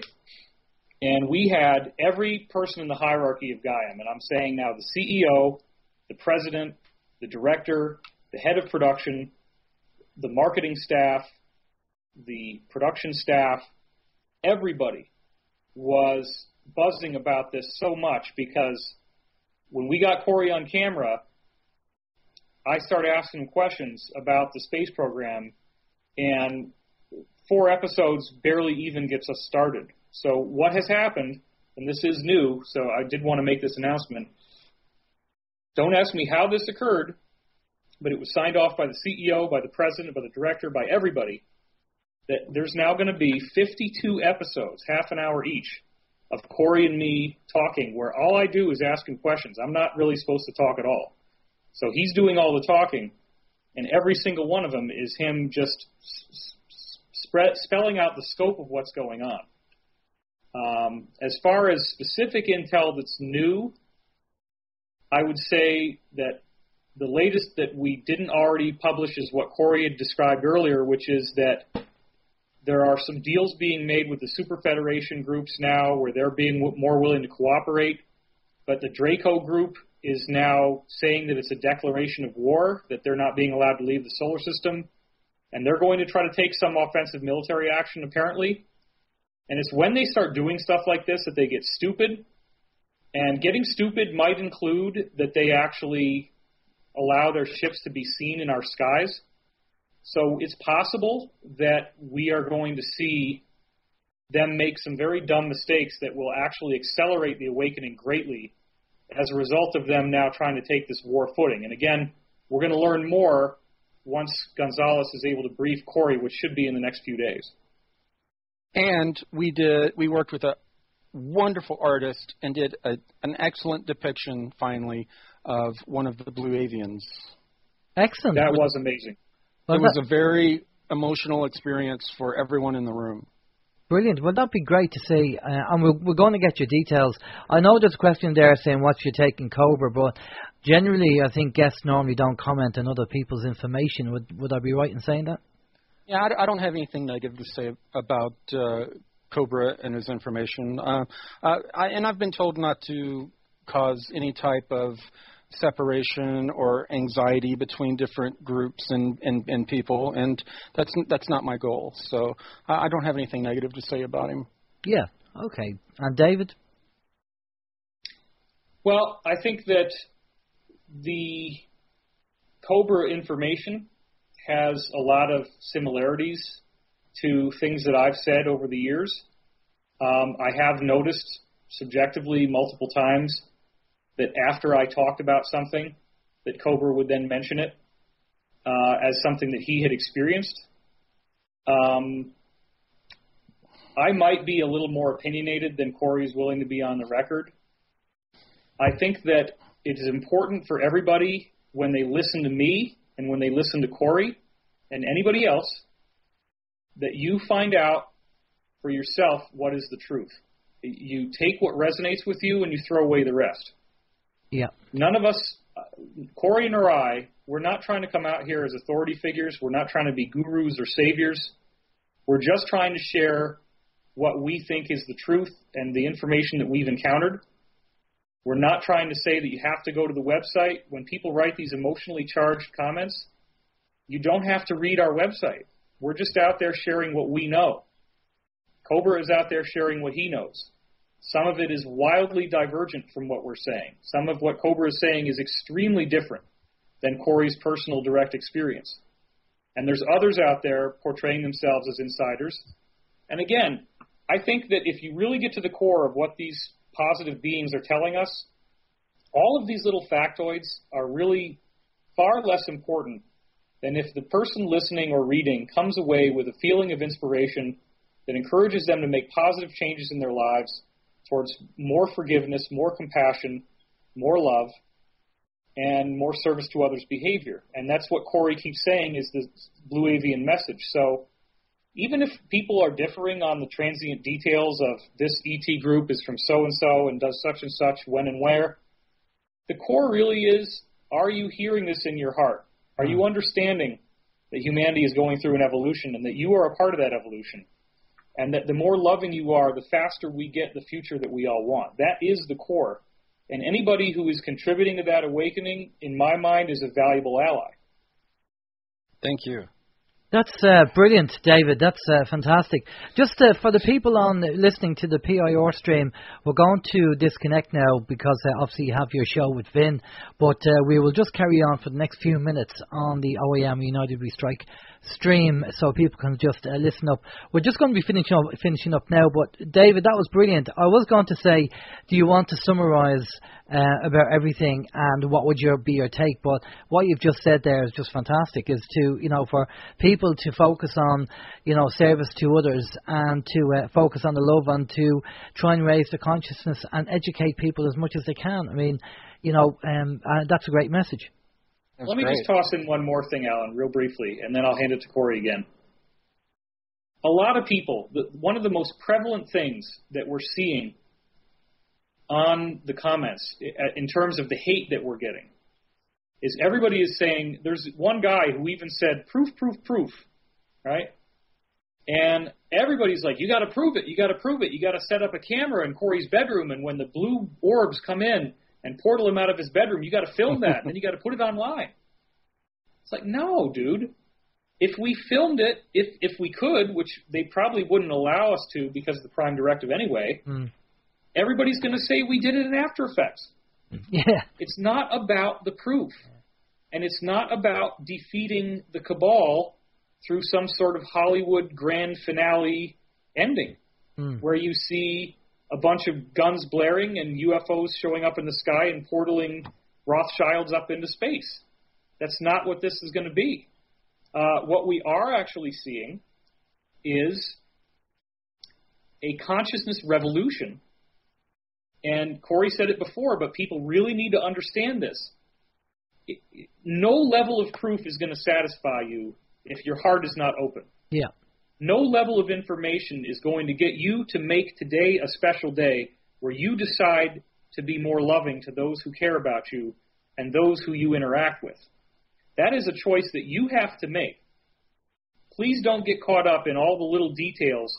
And we have people, when somebody like Corey comes out, they obsess on him, or somebody like Cobra, and they're looking at every little detail. And well, Cobra said this, and Corey didn't say that, and David is saying such and such. And look, really, at the end of the day, I got into the UFO field. I wanted to gain information. I was hungry for information.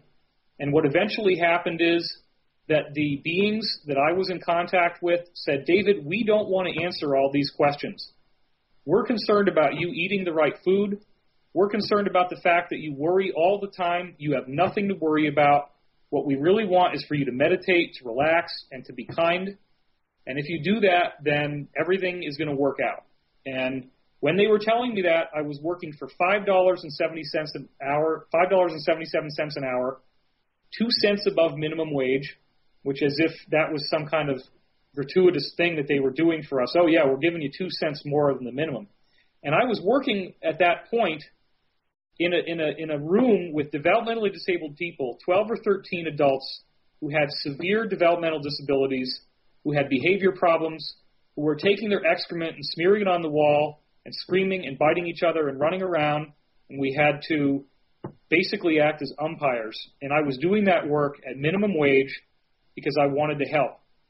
And yet the job that I was in was causing me tremendous anxiety. I would come home at night and have the screaming in my head and have to just lie in bed in the dark until the screaming stopped. And that's when contact with me was made. That's when I contacted these higher beings. And my life looked like it was crap. My life looked like it was never going to get better. I only made $200 a week.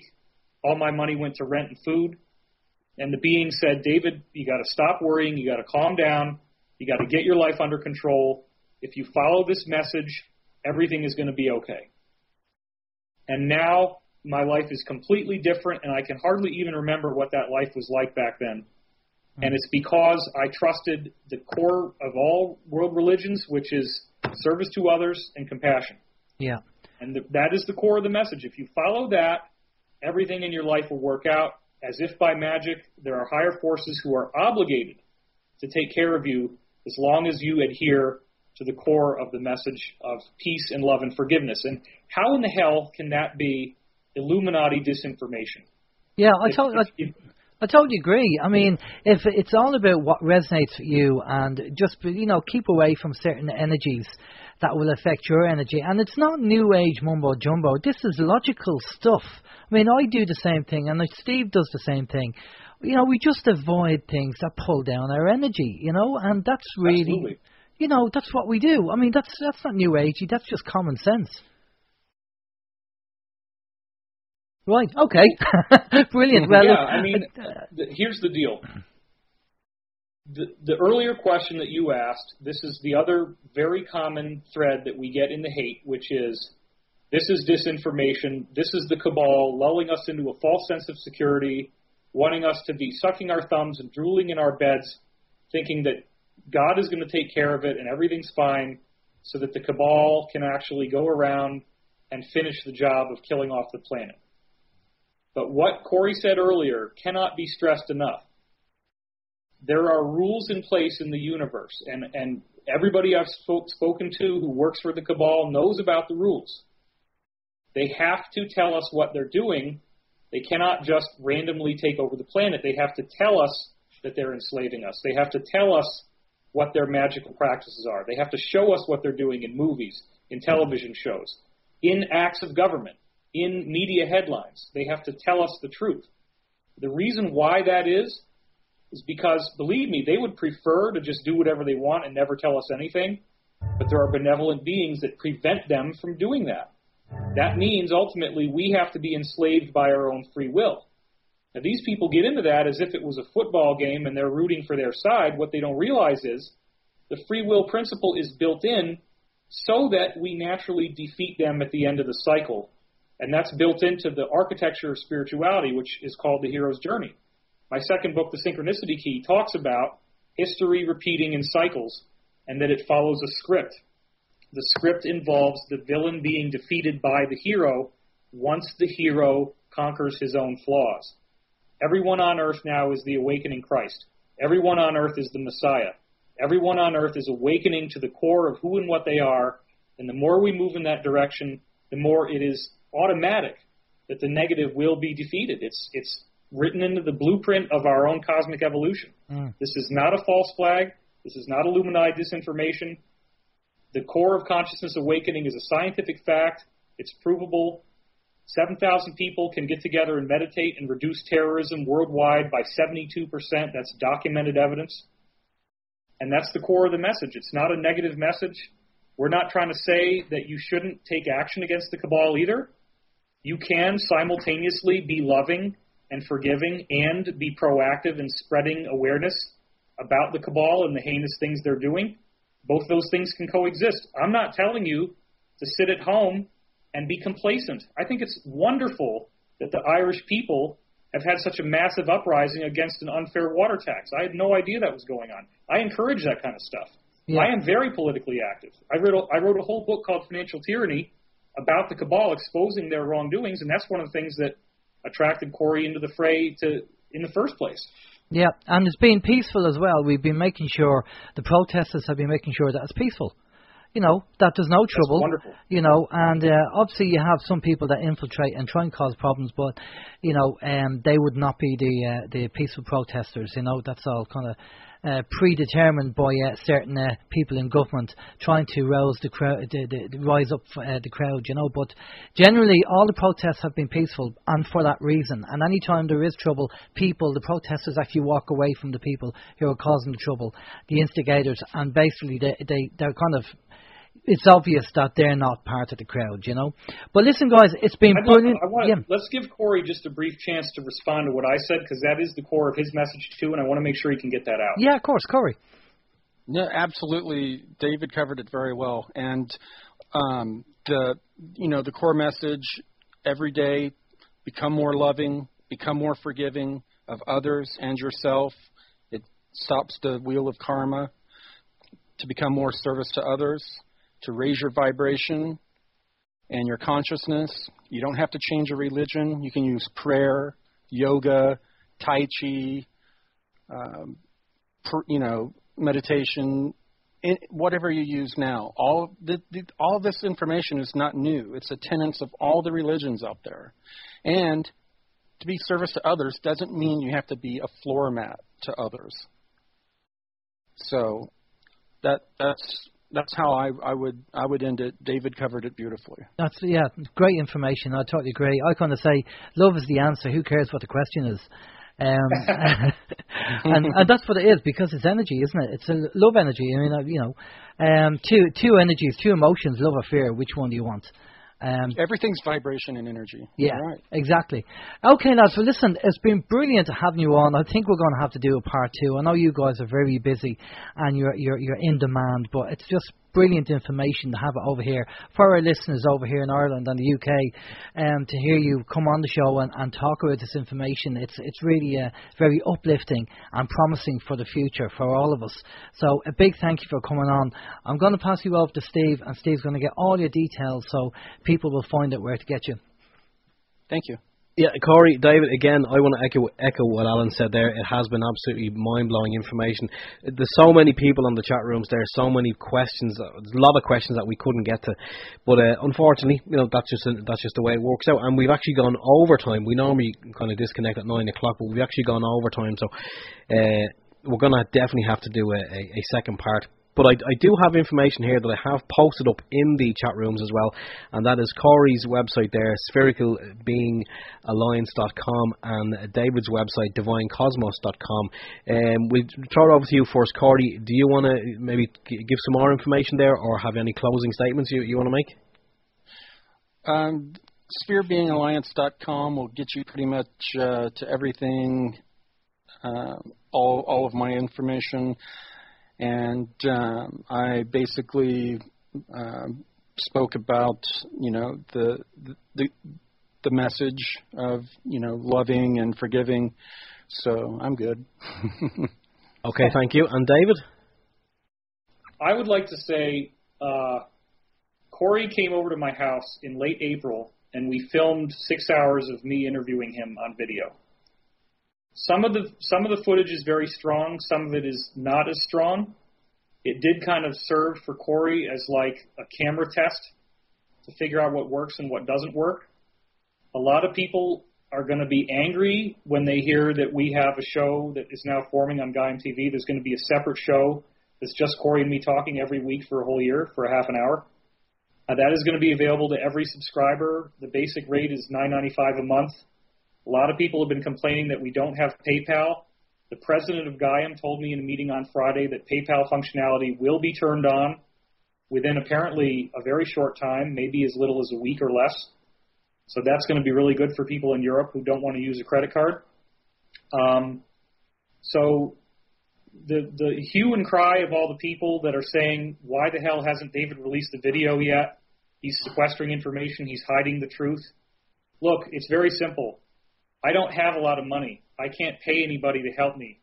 I'm doing this myself. I've been learning all the software. I'm learning Adobe After Effects, Adobe Premiere Pro. I've made significant progress. I do intend to release some of the strongest parts of what he and I talked about in a video. And no matter how much of that I released, it's not even going to begin to cover what we already did this past week in what's going to probably amount to the first 10 episodes out of 52. So if you if you can afford the $10 a month, it's a, it's totally going to be worth it because you can see my show Wisdom Teachings, you can see my show Disclosure, you can see the show with Corey, which one of the working titles for it is Cosmic. I don't know what we're ultimately going to call it yet. Um, I, I would love to have things not be dependent on money at all, but this is a small amount of money, and it's a way in which you can help us. Corey and I are splitting the proceeds 50 50, so if you pay to see the show through his site or through my site, we both get the same amount out of it. So that is fair, and I just again want to thank everybody for supporting us. We do need your help, and I really appreciate it. Okay. Is that um, is that Ben? Is it? Or it's on the website, is it? Okay. I'm having trouble hearing you at this point.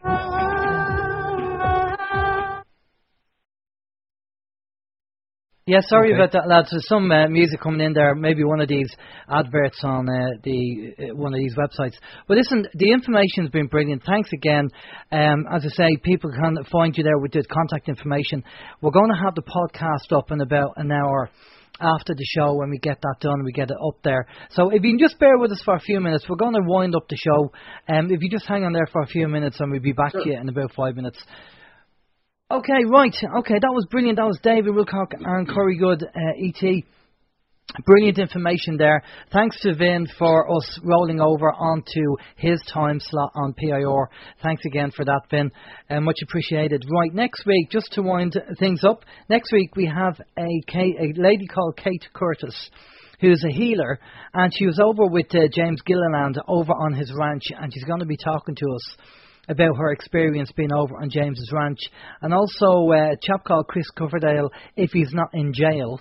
Um, he did. He's uh, basically fighting the uh, the tax over there in the UK, and he's going to tell us all about the tax and why it's corrupt and we, why we shouldn't be paying it. So if he's not in jail, we'll have him on the show. That's the plan.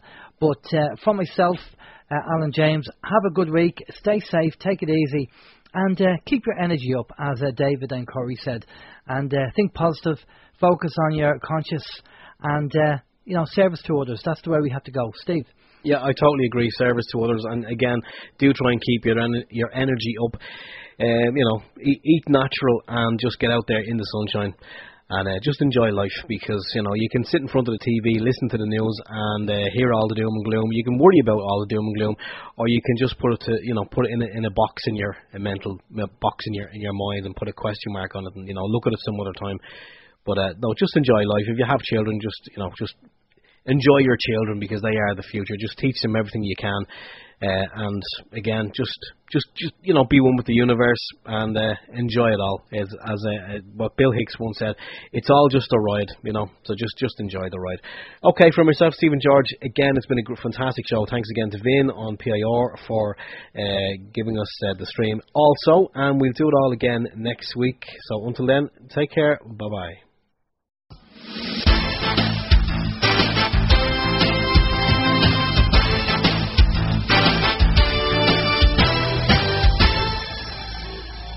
Open your mind.